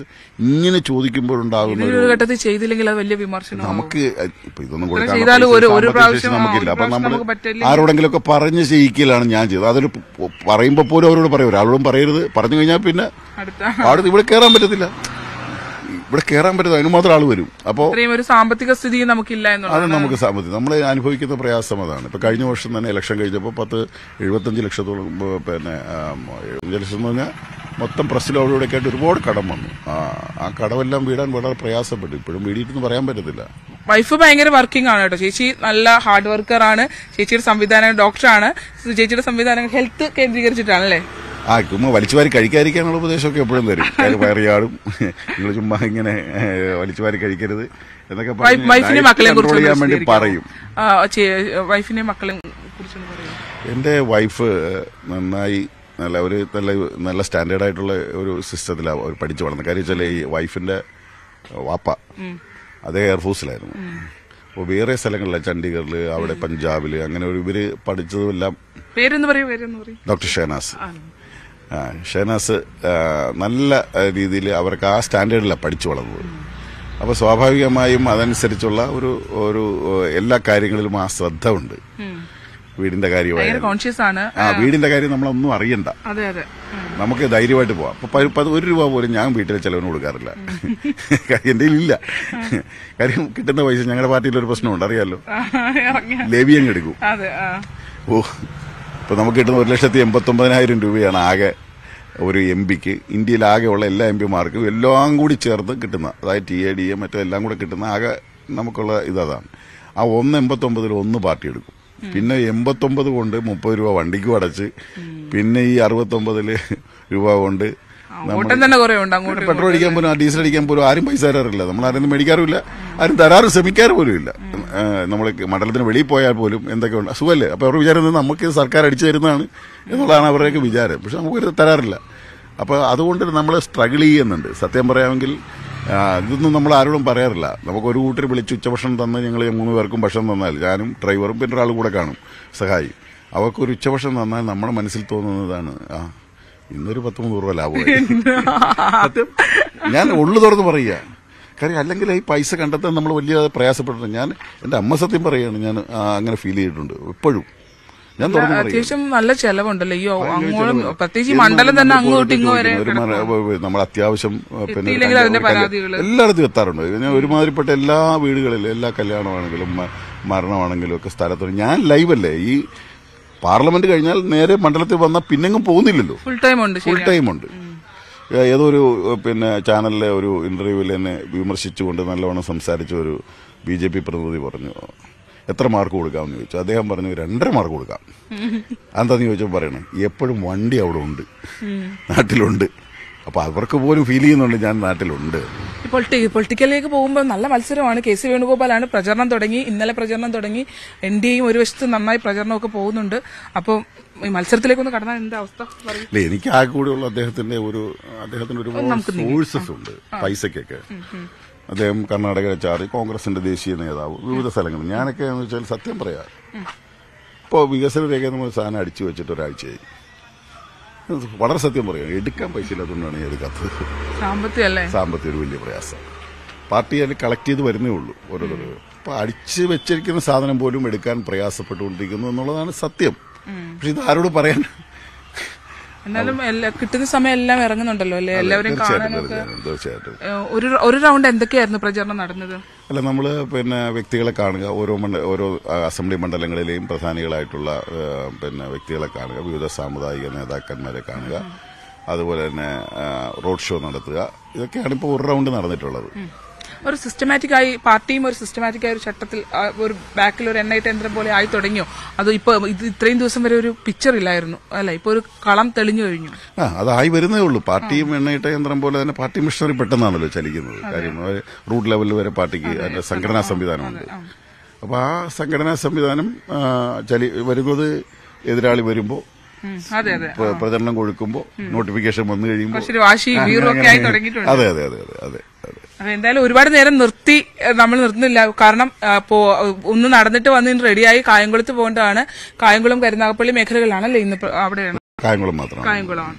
അപ്പോ ആദ്യഘട്ടത്തിൽ ഒറ്റത്തവണ ഒരു റൗണ്ട് പൂർത്തിയായി. ഇന്നലെയോടുകൂടി കെ സി വേണുഗോപാലും ഒക്കെ എത്തിയതോടെ ആലപ്പുഴയിൽ തെരഞ്ഞെടുപ്പ് ചിത്രം ആ ഒരു കളം തെളിഞ്ഞിട്ടുണ്ട്. ആരൊക്കെയാണ് എന്തൊക്കെയാണ് എങ്ങനെയൊക്കെയാണ് മത്സരം ആരൊക്കെ തമ്മിലാണ് ഫൈറ്റ് എന്നൊക്കെ ഉള്ള ഒരു രീതിയിലേക്ക് കാര്യങ്ങൾ വന്നിട്ടുണ്ട്. ആ ഒരു ആവേശം പ്രവർത്തകരിലുണ്ടല്ലോ അല്ലെ ആരിഫിക്ക് ആ തീർച്ചയായും. കാര്യം എന്താ വെച്ച് കഴിഞ്ഞാൽ ഈ മണ്ഡലം നഷ്ടപ്പെടരുത് എന്നുള്ളൊരു വലിയൊരു ആവേശം നവമാധ്യമങ്ങളിലൊക്കെ അങ്ങനെ നല്ല രീതിയിൽ ക്യാമ്പയിനും ഒക്കെ സ്റ്റാർട്ട് ചെയ്തു. അതെ അതെ. ഈ മണ്ഡലത്തെ സംരക്ഷിക്കുക എന്നുള്ളത് ഓരോ എൽ ഡി എഫ് പ്രവർത്തകരുടെയും ഉത്തരവാദിത്വമാണ്. അതുപോലെ തന്നെ വർഗീയ ശക്തികൾ കൂടുതൽ ഒട്ടുപിടിക്കാതിരിക്കാൻ കാര്യം ഇത് പുന്നപ്രവലാറിന്റെ മണ്ണാണ്. കഴിഞ്ഞ തവണ വേറൊരു നിന്ന് ഉണ്ടായ ഒരു വോട്ടുപിടുത്താണ് അത് ആ സാഹചര്യം ഇപ്പം ഇല്ല. അതൊക്കെ ഇപ്പൊ പറഞ്ഞ് പ്രചരിപ്പിക്കാൻ ശ്രമിക്കുന്നുണ്ട്. ഞാൻ പറഞ്ഞ ശബരിമലയുമായി ബന്ധപ്പെട്ട് പറഞ്ഞ ഒരു കാര്യം എടുത്തു വെച്ച് ബി ജെ പിക്കാർ വർഗീയമായ അവർ രണ്ടു കൂട്ടരും കോൺഗ്രസും ആക്രമിക്കുന്നു. ഇവർ തമ്മിലൊരു ആക്രമണം ഞാൻ കാണുന്നില്ല. ഏതാ കെ സി വേണുഗോപാലിനെ വിമർശിച്ചുകൊണ്ട് ബി ജെ പിയോ ബി ജെ പി സ്ഥാനാർത്ഥിയെ വിമർശിച്ചുകൊണ്ട് കെ സി വേണുഗോപാൽ ആൾക്കാരോ പരസ്പരം ഒറ്റ അറ്റാക്കും ഇല്ല. രണ്ടുപേരും കൂടെ മത്സരിച്ച് എന്നെ അറ്റാക്ക് ചെയ്യുന്ന കാര്യത്തിൽ നല്ല മത്സരമാണ് നടക്കുന്നത്. ഒന്ന് പറഞ്ഞു? ഒരു ക്ലാരിഫിക്കേഷൻ എന്ന് പറഞ്ഞു? ആദ്യം എന്റെ ലോകനാ ലോക്നാഥ് ബെഹ്റ അവിടെ കിടക്കട്ടെ. എന്റെ കാര്യം? അതായത് കഴിഞ്ഞ പാർലമെന്റ് തെരഞ്ഞെടുപ്പ് കഴിഞ്ഞ തിരുവനന്തപുരത്ത് വെച്ച് ഞാൻ നിങ്ങളിത് വലിയ ഹൈലൈറ്റ് ചെയ്ത് കൊടുക്കണമെന്ന് പറയാം ഞാൻ എന്റെ വീഡിയോ കംപ്ലീറ്റ് ഫുൾ വീഡിയോ കാണിക്കാം. ഞാൻ പാർലമെന്റ് ഇലക്ഷൻ കഴിഞ്ഞ് തിരുവനന്തപുരം പ്രസ് ക്ലബ് എനിക്കൊരു സ്വീകരണം തന്നു. ഒരു വാളും പരിചയമൊക്കെ തന്നു. എഴുപത് എഴുപത്തഞ്ച് മാധ്യമ പ്രവർത്തകരുണ്ടായിരുന്നു വലിയ നല്ല ക്രൗഡഡായിരുന്നു. ആ ഹോൾ മുഴുവൻ നിറഞ്ഞ് പ്രസ് ക്ലബ്ബ് നിറഞ്ഞ ആളുണ്ടായിരുന്നു. അവരെല്ലാം നല്ല സ്വീകരണം തന്നു നല്ലൊരു സംസാരിച്ചു എല്ലാം കഴിഞ്ഞ് ഇറങ്ങാറായപ്പോഴത്തേക്ക് ജനൻ ടി വിയുടെ ഒരു ലേഖകൻ ഒരു ചോദ്യം. ഈ പത്തൊമ്പത് പേര് പരാജയപ്പെടാൻ ഇട വന്നതിൽ ശബരിമല വിഷയം ബാധിച്ചിട്ടുണ്ടോ എന്ന് ചോദിച്ചു. ചോദ്യം കറക്റ്റ്. ഞാൻ പറഞ്ഞു ശബരിമല വിഷയം നന്നായി അവതരിപ്പിച്ച സ്ഥലങ്ങളിൽ പരാജയം ഉണ്ടായിട്ടില്ല. അത് പറയാൻ നമ്മൾ വിമുഖത കാണിച്ച സ്ഥലങ്ങളിൽ ചിലപ്പോൾ ഉണ്ടായിട്ടുണ്ടാവാം. പരിശോധിച്ചാലേ പറയാൻ കഴിയൂ. ശബരിമലയിൽ ഒരാളെ പോലും കയറ്റണമെന്ന് സർക്കാരിനോ സി പി എമ്മിനോ ഒരു വാശിയും ഉണ്ടായിരുന്നില്ല. അങ്ങനെ ഒരു വാശി ഉണ്ടായിരുന്നെങ്കിൽ കോടിയേരി ബാലകൃഷ്ണൻ വിളിച്ച് പറഞ്ഞാൽ എത്ര കണ യുവതി യുവാക്കൾ അവിടെ എത്തും. ലക്ഷക്കണക്കിന് യുവതി യുവാക്കൾ അവിടെ എത്തുമായിരുന്നു. സുപ്രീം കോടതിയുടെ ഉത്തരവ് നടപ്പിലാക്കാൻ വേണ്ടിയിട്ട് ഗവൺമെന്റ് നിലകൊണ്ടില്ലെങ്കിൽ ആരെങ്കിലും ഒരു യുവതി കയറി വന്നാൽ ആ യുവതിക്ക് പ്രവേശനാനുമതി കൊടുക്കുന്നതിന് വേണ്ടി ഗവൺമെന്റ് ശ്രമിക്കുന്നു എന്നൊന്ന് വരുത്തണം. ഇല്ലെങ്കിൽ സുപ്രീം കോടതി പറയും ഈ സുപ്രീം കോടതി ഉത്തരവ് നടപ്പാക്കാൻ കേൾപ്പില്ലാത്ത ഒരു സർക്കാരിനെ എന്തിനാ വെച്ചുകൊണ്ടിരിക്കുന്നതെന്ന് ചോദിക്കും. അതെ പ്രത്യേകിച്ച് ഇടതുപക്ഷ ആശയങ്ങൾ നോക്കുകയാണെങ്കിൽ ആ അതൊരു സുവർണാവസരമായി എടുത്ത് മോഡി സർക്കാർ ഈ ഗവൺമെന്റ് പിരിച്ചുവിടും. അത് ഒഴിവാക്കാൻ വേണ്ടി ആരെങ്കിലും വന്നാൽ സംരക്ഷണം കൊടുക്കും എന്നുള്ള ഒരു ഗവൺമെന്റ് നിലപാടെടുത്തതല്ലാതെ ഈ നിരസ ഈ ഉത്തരവ് നടപ്പാക്കാൻ പാർട്ടിയുമായി ബന്ധമുള്ള ചെറുപ്പക്കാരികൾ മുഴുവൻ അവിടെ എത്താൻ പാർട്ടി പറഞ്ഞു. ഒരാളോടെങ്കിലും പറഞ്ഞു. ഒരു പാർട്ടിക്കാരെങ്കിലും വന്നോ? ഒരാളും വന്നില്ല. വിശ്വാസികളുടെ വിശ്വാസം സംരക്ഷിക്കാനാണ് പാർട്ടി ശ്രമിച്ചത്. എന്ന് പറഞ്ഞതിന്റെ ഒരു ഫുൾ സെന്റൻസ് അതിൽ നിന്ന് കോടിയേരി ബാലകൃഷ്ണൻ പറഞ്ഞാൽ ലക്ഷക്കണക്കിന് യുവതി യുവാക്കൾ അവിടെ എത്തും ആരിഫ് എം പി. ഇങ്ങനെ ഒരു മര്യാദകേട് ഒരു നെറികേടെന്ന് പറയാം നേ നമ്മുടെ രാഷ്ട്രീയ നമ്മൾ എതിരെ അഭിപ്രായ വ്യത്യാസങ്ങളൊക്കെ ഉണ്ടാകാം. ഇപ്പൊ ശരണ്യ മോഹൻ എന്ന് പറയുന്ന ശരണ്യ സ്നേഹജൻ എന്ന് പറയുന്ന എന്നെ കുറെ വിമർശിച്ചിട്ടുണ്ട് കേട്ടോ. സ്നേഹജൻ എന്ന് പറയുന്ന മാധ്യമ പ്രവർത്തക മഹാ അഹങ്കാരിയും കൊടരാത്തവരുമാണെന്ന് കുറച്ചാളുകൾ പറഞ്ഞു പരത്തുന്നുണ്ട്. അതൊരു വസ്തുതാവിരുദ്ധമായ കാര്യമാണ്. ഒരു നല്ലൊരു മാധ്യമ പ്രവർത്തകയാണ്. എന്നാണ് ഫുൾ സെന്റൻസ് അത് നടുക്ക് വെച്ച് കട്ട് ചെയ്തിട്ട് പറയുകയാണ് ശരണ്യ സ്നേഹജൻ എന്ന് പറഞ്ഞാൽ കൂടാത്തൊരു അഹങ്കാരിയുമാണ് ആരിഫ് എന്ന് പറഞ്ഞാൽ എന്നിങ്ങനെ ഇരിക്കും? ഈ രാജ്യത്ത് നമ്മൾ ജീവിക്കണ്ടേ? പല ഘട്ടങ്ങളിലും അങ്ങനെ ഉപദ്രവിക്കപ്പെട്ടിട്ടുണ്ട്. വർഗീയമായി ആക്രമിക്കുക? ഞാൻ വിദ്യാർത്ഥി യുവജന പ്രസ്ഥാനങ്ങൾ വന്നതല്ലേ? തല്ലുകൊണ്ട് അടികൊണ്ട് ജയിലിൽ കിടന്ന് ഒക്കെ വളർന്നു വന്നതല്ല? അതായത് ആകാശത്ത് കെട്ടിറക്കിയതാണോ അത് ഒരു ഇടതുപക്ഷ നേതാവിന് ഒരു വർഗീയ മുഖം ഉണ്ടാക്കാനായി ബോധപൂർവം ഒരു ശ്രമം നടന്നു എന്നുള്ളതാണ് അത് ഇപ്പോഴും ശ്രമിച്ചുകൊണ്ടിരിക്കുകയാണ്. ഈ തെരഞ്ഞെടുപ്പിന്റെ മുഖ്യ അജണ്ടയായി തന്നെ ബി ജെ പിയും കോൺഗ്രസും എടുത്തിരിക്കുന്നത് എന്റെ ഈ പ്രസ്താവന അഞ്ചു കൊല്ലങ്ങൾക്ക് മുമ്പ്. ആ പറഞ്ഞതിന് കട്ട് ചെയ്ത് അവരുപയോഗിച്ച് പോട്ടെ. ബി ജെ പി അത് അങ്ങനെയാണ്. ബി ജെ പിയുടെ പൊളിറ്റിക്സ് തന്നെ അതാണ് വർഗീയ രാഷ്ട്രീയമാണ്. അവരത് ഉപയോഗിച്ചോട്ടെ കോൺഗ്രസ്സുകാരത് പിന്തുടരാവോ? അതിന്റെ ബെനിഫിറ്റ് ആർക്ക് കിട്ടും? ബി ജെ പിക്ക് കിട്ടും. അതാ. അപ്പൊ അങ്ങ് അതൊക്കെ മനസ്സിനെ വേദനിപ്പിക്കുന്ന ഒന്നാണ്. വളരെ വല്ലാതെ വേദനിപ്പിക്കുന്ന ഒന്നാണ്. നമ്മളൊരിക്കലും ഒരു എല്ലാ മതം ഇപ്പൊ ഇപ്പൊ ഇലക്ഷൻ പ്രചരണം ആരംഭിച്ചു. നമ്മൾ പിന്നെ ഓച്ചിറ ക്ഷേത്രത്തിന്റെ അവിടെ വോട്ട് പിടിക്കാനായിട്ട് ചെന്നു അപ്പോൾ അവിടെ പൂജാരിയായിട്ടിരിക്കുന്ന ഒരു പഴയ എൽസിയോംബ്ര ഓ ക്ഷേത്രത്തിന്റെ നടയിൽ. അപ്പൊ അദ്ദേഹം പറഞ്ഞു വാസകാവേ വാ വാ എന്ന് പറഞ്ഞു. അപ്പൊ ആദ്യം മാല ഇട്ട കഴുത്തിലിട്ട മുല്ലപ്പൂമാല ഞാൻ ഊരിയില്ല. അങ്ങോട്ട് ചെന്നപ്പോൾ ഇദ്ദേഹം ജയിച്ചു വരും ഉറപ്പ് എന്നും പറഞ്ഞ് ഒരിതിട്ടു. നമ്മളിതൊന്നും തടയാനോ പിടിക്കാനോ ഒന്നും പറയത്തില്ലല്ലോ. സ്വാഭാവികമായി എല്ലാ മതങ്ങളെയും നമ്മൾ വിശ്വസിക്കുന്നതാണ്. എല്ലാ മതങ്ങളുടെയും ഞാൻ പോയിട്ടുള്ള അത്ര ക്ഷേത്രങ്ങളിൽ ഒട്ടുമിക്ക ഹിന്ദുക്കളും പോയിട്ടില്ല. ഹരിദ്വാർ ഋഷികേഷ് എല്ലാം പോയിട്ടുണ്ട്. ഞാൻ മക്ക മദീന എല്ലാം പോയിട്ടുണ്ട്. സെന്റ് പിന്നെ സെന്റ് പോൾസ് കത്തീഡ്രലിൽ പോയിട്ടുണ്ട് ലണ്ടനിലെ. നമ്മൾ എല്ലാ ദേവാലയങ്ങളും പോകും എല്ലാ സ്ഥലത്തും പോകും എല്ലാം ബഹുമാനിക്കും. അപ്പോൾ മാതാ അമൃതാനന്ദ മൈമ്പടത്തിൽ പോയിട്ടുണ്ട് പിന്നെ മണ്ണാർശാലയിൽ പോയിട്ടുണ്ട്. എല്ലാ മുസ്ലിം ഇവിടെ എല്ലാ മുസ്ലിം പള്ളികളിലെയും വിവിധ ആഘോഷ പരിപാടികളെല്ലാം ഞാൻ ക്ഷണിക്കാറുണ്ട്. ഞാൻ നോമ്പനുഷ്ഠിക്കും എല്ലാം ചെയ്യുന്ന ആളാണ്. വെള്ളിയാഴ്ച ദിവസങ്ങൾ പള്ളിയിൽ പോകുന്ന ആളാണ്. ഇതെല്ലാം ഉണ്ട്. ഈ ഞാൻ കുറി തൊട്ടത് അങ്ങോട്ട് എടുത്തു വെച്ചിട്ട് ഈ മണ്ഡലത്തിലെ ഇനി ഒരു മുസ്ലിം പേരുകാരനുണ്ടോ? അവർ കാണാൻ വേറെ ആരും ബാക്കിയില്ല. അത്ര രൂപത്തിലാണ് കോൺഗ്രസ് ഇത്തവണ പ്രചരണം. നടത്തിയിരിക്കുന്നത്? ഇതൊക്കെ നേരും നേറിയുമുള്ള ഒരു പൊളിറ്റിക്സാണ് ഞാൻ ഇപ്പോ ഓ, ഇതൊക്കെ ഇതൊക്കെയാണ് ഈ തെരഞ്ഞെടുപ്പിൽ മുസ്ലിം വീടുകളിൽ എത്തിക്കുകയാണ് ഞാൻ പിന്നെ പിന്നെ ബഹുദൈവ ആരാധകനാണ് എന്ന് വരുത്താൻ വേണ്ടിയിട്ടുള്ള ശ്രമം. ഏതാ?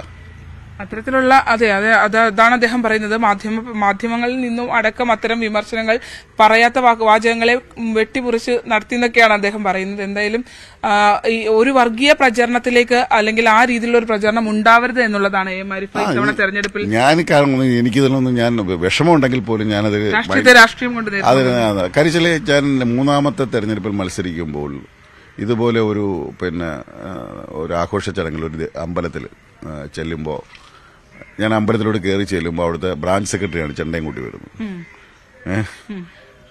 ഇദ്ദേഹം എന്നെ കണ്ട സന്തോഷത്തിന് ഈ ചെണ്ട എടുത്ത് എന്റെ കഴുത്തിലോട്ട് ഇട്ടു കോലിഞ്ഞ് നിന്നു.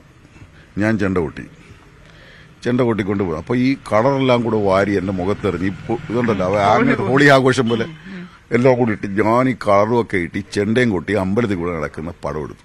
ആ പടം ഏറ്റവും അന്നത്തെ ഏറ്റവും ടോപ്പ് മോസ്റ്റ് പടമായിട്ട് ഒരു ആപ്പിൾ ഫോൺ കിട്ടിയ ഫോട്ടോഗ്രാഫർക്ക് ഒരു മനോരമ. ഇതൊക്കെ നടത്തിയ മത്സരത്തിൽ ഏറ്റവും നല്ല ഫോട്ടോ. അതവൻ കൊണ്ടുപോയി. ചീത്ത മുഴുവൻ ഞാനും പിടിച്ചു. ഈ ഇത് വെച്ചിട്ട് നേരെ മുസ്ലിം പള്ളികളിൽ കംപ്ലീറ്റ് അമ്പലത്തിൽ ചെണ്ട കൊട്ടുന്ന ആരിഫ് എന്നും പറഞ്ഞ് പ്രചരിപ്പിച്ചു. ഇങ്ങനെ പ്രചരിപ്പിച്ചു കഴിഞ്ഞ് റിസൾട്ട് വന്നപ്പോൾ എന്താ സ്ഥിതി? മുപ്പത്തി ഒമ്പതിനായിരം വോട്ടിന്റെ ഭൂരിപക്ഷമാണ് കിട്ടിയത്. റെക്കോർഡ് ഭൂരിപക്ഷം.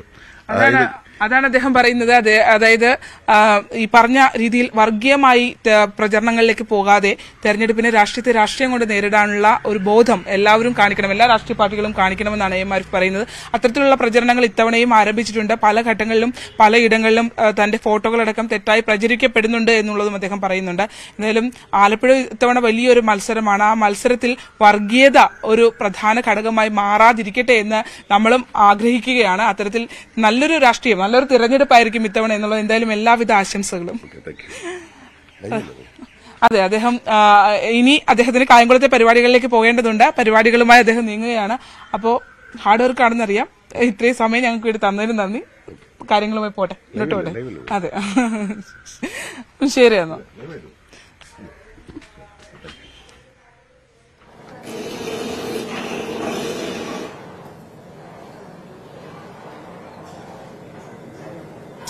യെസ് അപ്പൊ താങ്ക് യു ശരണ്യ സ്നേഹജൻ. അവിടെ നിന്ന് എം ബി എയോടൊപ്പം ചേർന്ന് എൽ ഡി എഫ് സ്ഥാനാർത്ഥി കൂടിയാണ് ഇത്തവണത്തെ അദ്ദേഹം. അദ്ദേഹത്തോടൊപ്പം ചേർന്ന് നല്ല കുറച്ച് വിശേഷങ്ങൾ. അതായത് പൊതുവെ നമ്മൾ ഈ രാഷ്ട്രീയക്കാരെ കാണുമ്പോൾ രാഷ്ട്രീയപരമായിട്ടുള്ള വിഷയങ്ങൾ മാത്രമേ സംസാരിക്കാറുള്ളൂ. പക്ഷേ ഇന്ന് എ എം ആരിഫ് എന്ന് പറയുന്ന വ്യക്തിയുടെ മറ്റൊരു ലൈഫ് സൈഡ് കൂടി നമുക്ക് അറിയാൻ സാധിച്ചു എന്നുള്ളതാണ്. വളരെ രസകരമായ ഒരു ടോക്കായിരുന്നു ശരണ്യ എന്തായാലും എം പിയുമായിട്ട് നടത്തിയത്. എന്തായാലും നമ്മൾ ഞാൻ ക്ലൗഡ് കിച്ചണിലാണ് ഉള്ളത്? ഇവിടെ നിന്നുള്ള വിശേഷങ്ങൾ അവസാനിക്കുന്നില്ല. വേഗം തിരികെ എത്താം. ഒരു ചെറിയ ഇടവേളയ്ക്ക് ശേഷം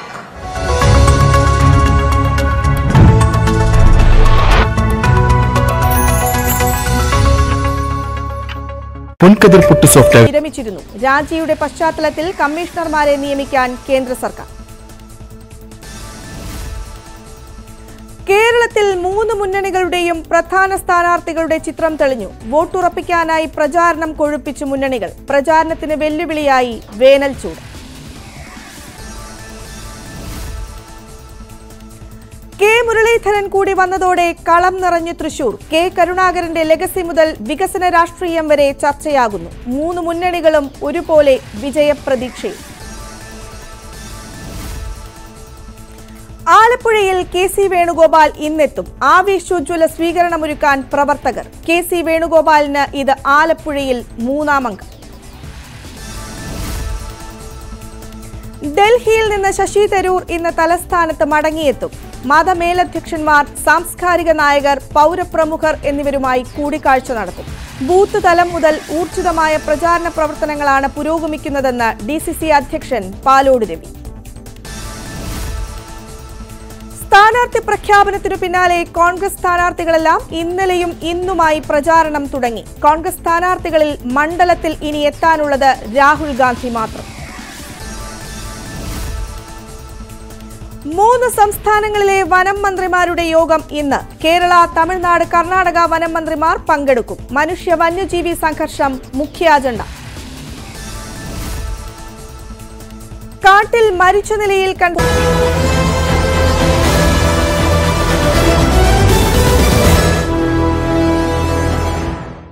പോസ്റ്റ്മോർട്ടം ഇന്ന്. എട്ടും പതിനാറും വയസ്സുകാരായ കുട്ടികളെ മരിച്ച നിലയിൽ കണ്ടെത്തിയത് ഇന്നലെ. തേൻ ശേഖരിക്കുന്നതിനിടയിലെ അപകടമെന്ന് പ്രാഥമിക നിഗമനം.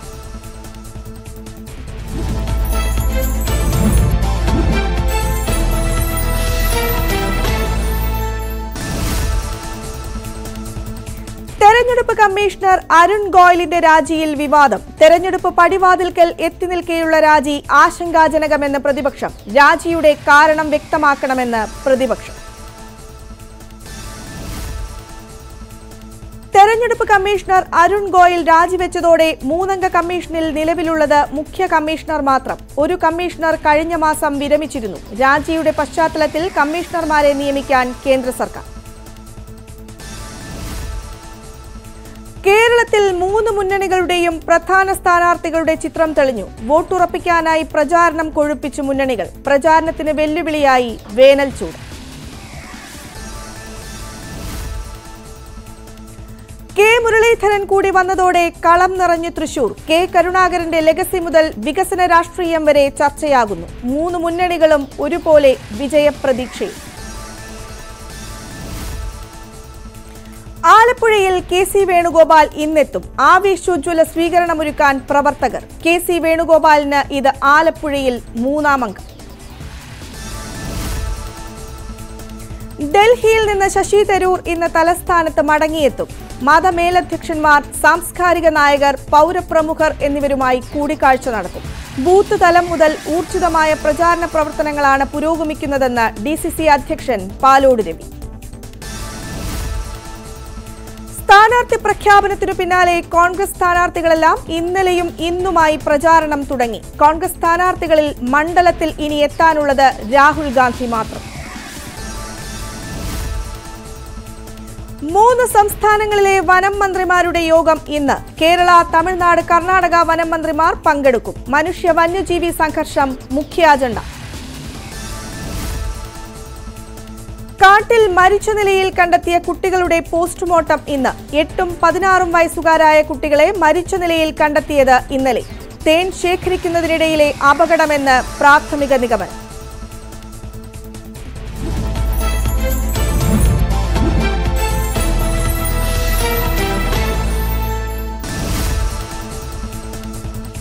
തെരഞ്ഞെടുപ്പ് കമ്മീഷണർ അരുൺ ഗോയലിന്റെ രാജിയിൽ വിവാദം. തെരഞ്ഞെടുപ്പ് പടിവാതിൽക്കൽ എത്തി നിൽക്കെയുള്ള രാജി ആശങ്കാജനകമെന്ന് പ്രതിപക്ഷം. രാജിയുടെ കാരണം വ്യക്തമാക്കണമെന്ന് പ്രതിപക്ഷം. തെരഞ്ഞെടുപ്പ് കമ്മീഷണർ അരുൺ ഗോയൽ രാജിവെച്ചതോടെ മൂന്നംഗ കമ്മീഷനിൽ നിലവിലുള്ളത് മുഖ്യ കമ്മീഷണർ മാത്രം. ഒരു കമ്മീഷണർ കഴിഞ്ഞ മാസം വിരമിച്ചിരുന്നു. രാജിയുടെ പശ്ചാത്തലത്തിൽ കമ്മീഷണർമാരെ നിയമിക്കാൻ കേന്ദ്ര സർക്കാർ. കേരളത്തിൽ മൂന്ന് മുന്നണികളുടെയും പ്രധാന സ്ഥാനാർത്ഥികളുടെ ചിത്രം തെളിഞ്ഞു. വോട്ടുറപ്പിക്കാനായി പ്രചാരണം കൊഴുപ്പിച്ചു മുന്നണികൾ. പ്രചാരണത്തിന് വെല്ലുവിളിയായി വേനൽ ചൂട്. കെ മുരളീധരൻ കൂടി വന്നതോടെ കളം നിറഞ്ഞു തൃശൂർ. കെ കരുണാകരന്റെ ലെഗസി മുതൽ വികസന രാഷ്ട്രീയം വരെ ചർച്ചയാകുന്നു. മൂന്ന് മുന്നണികളും ഒരുപോലെ വിജയപ്രതീക്ഷയിൽ. ആലപ്പുഴയിൽ കെ സി വേണുഗോപാൽ ഇന്നെത്തും. ആവേശോജ്വല സ്വീകരണമൊരുക്കാൻ പ്രവർത്തകർ. കെ സി വേണുഗോപാലിന് ഇത് ആലപ്പുഴയിൽ മൂന്നാം അംഗം. ഡൽഹിയിൽ നിന്ന് ശശി തരൂർ ഇന്ന് തലസ്ഥാനത്ത് മടങ്ങിയെത്തും. മതമേലധ്യക്ഷന്മാർ സാംസ്കാരിക നായകർ പൗരപ്രമുഖർ എന്നി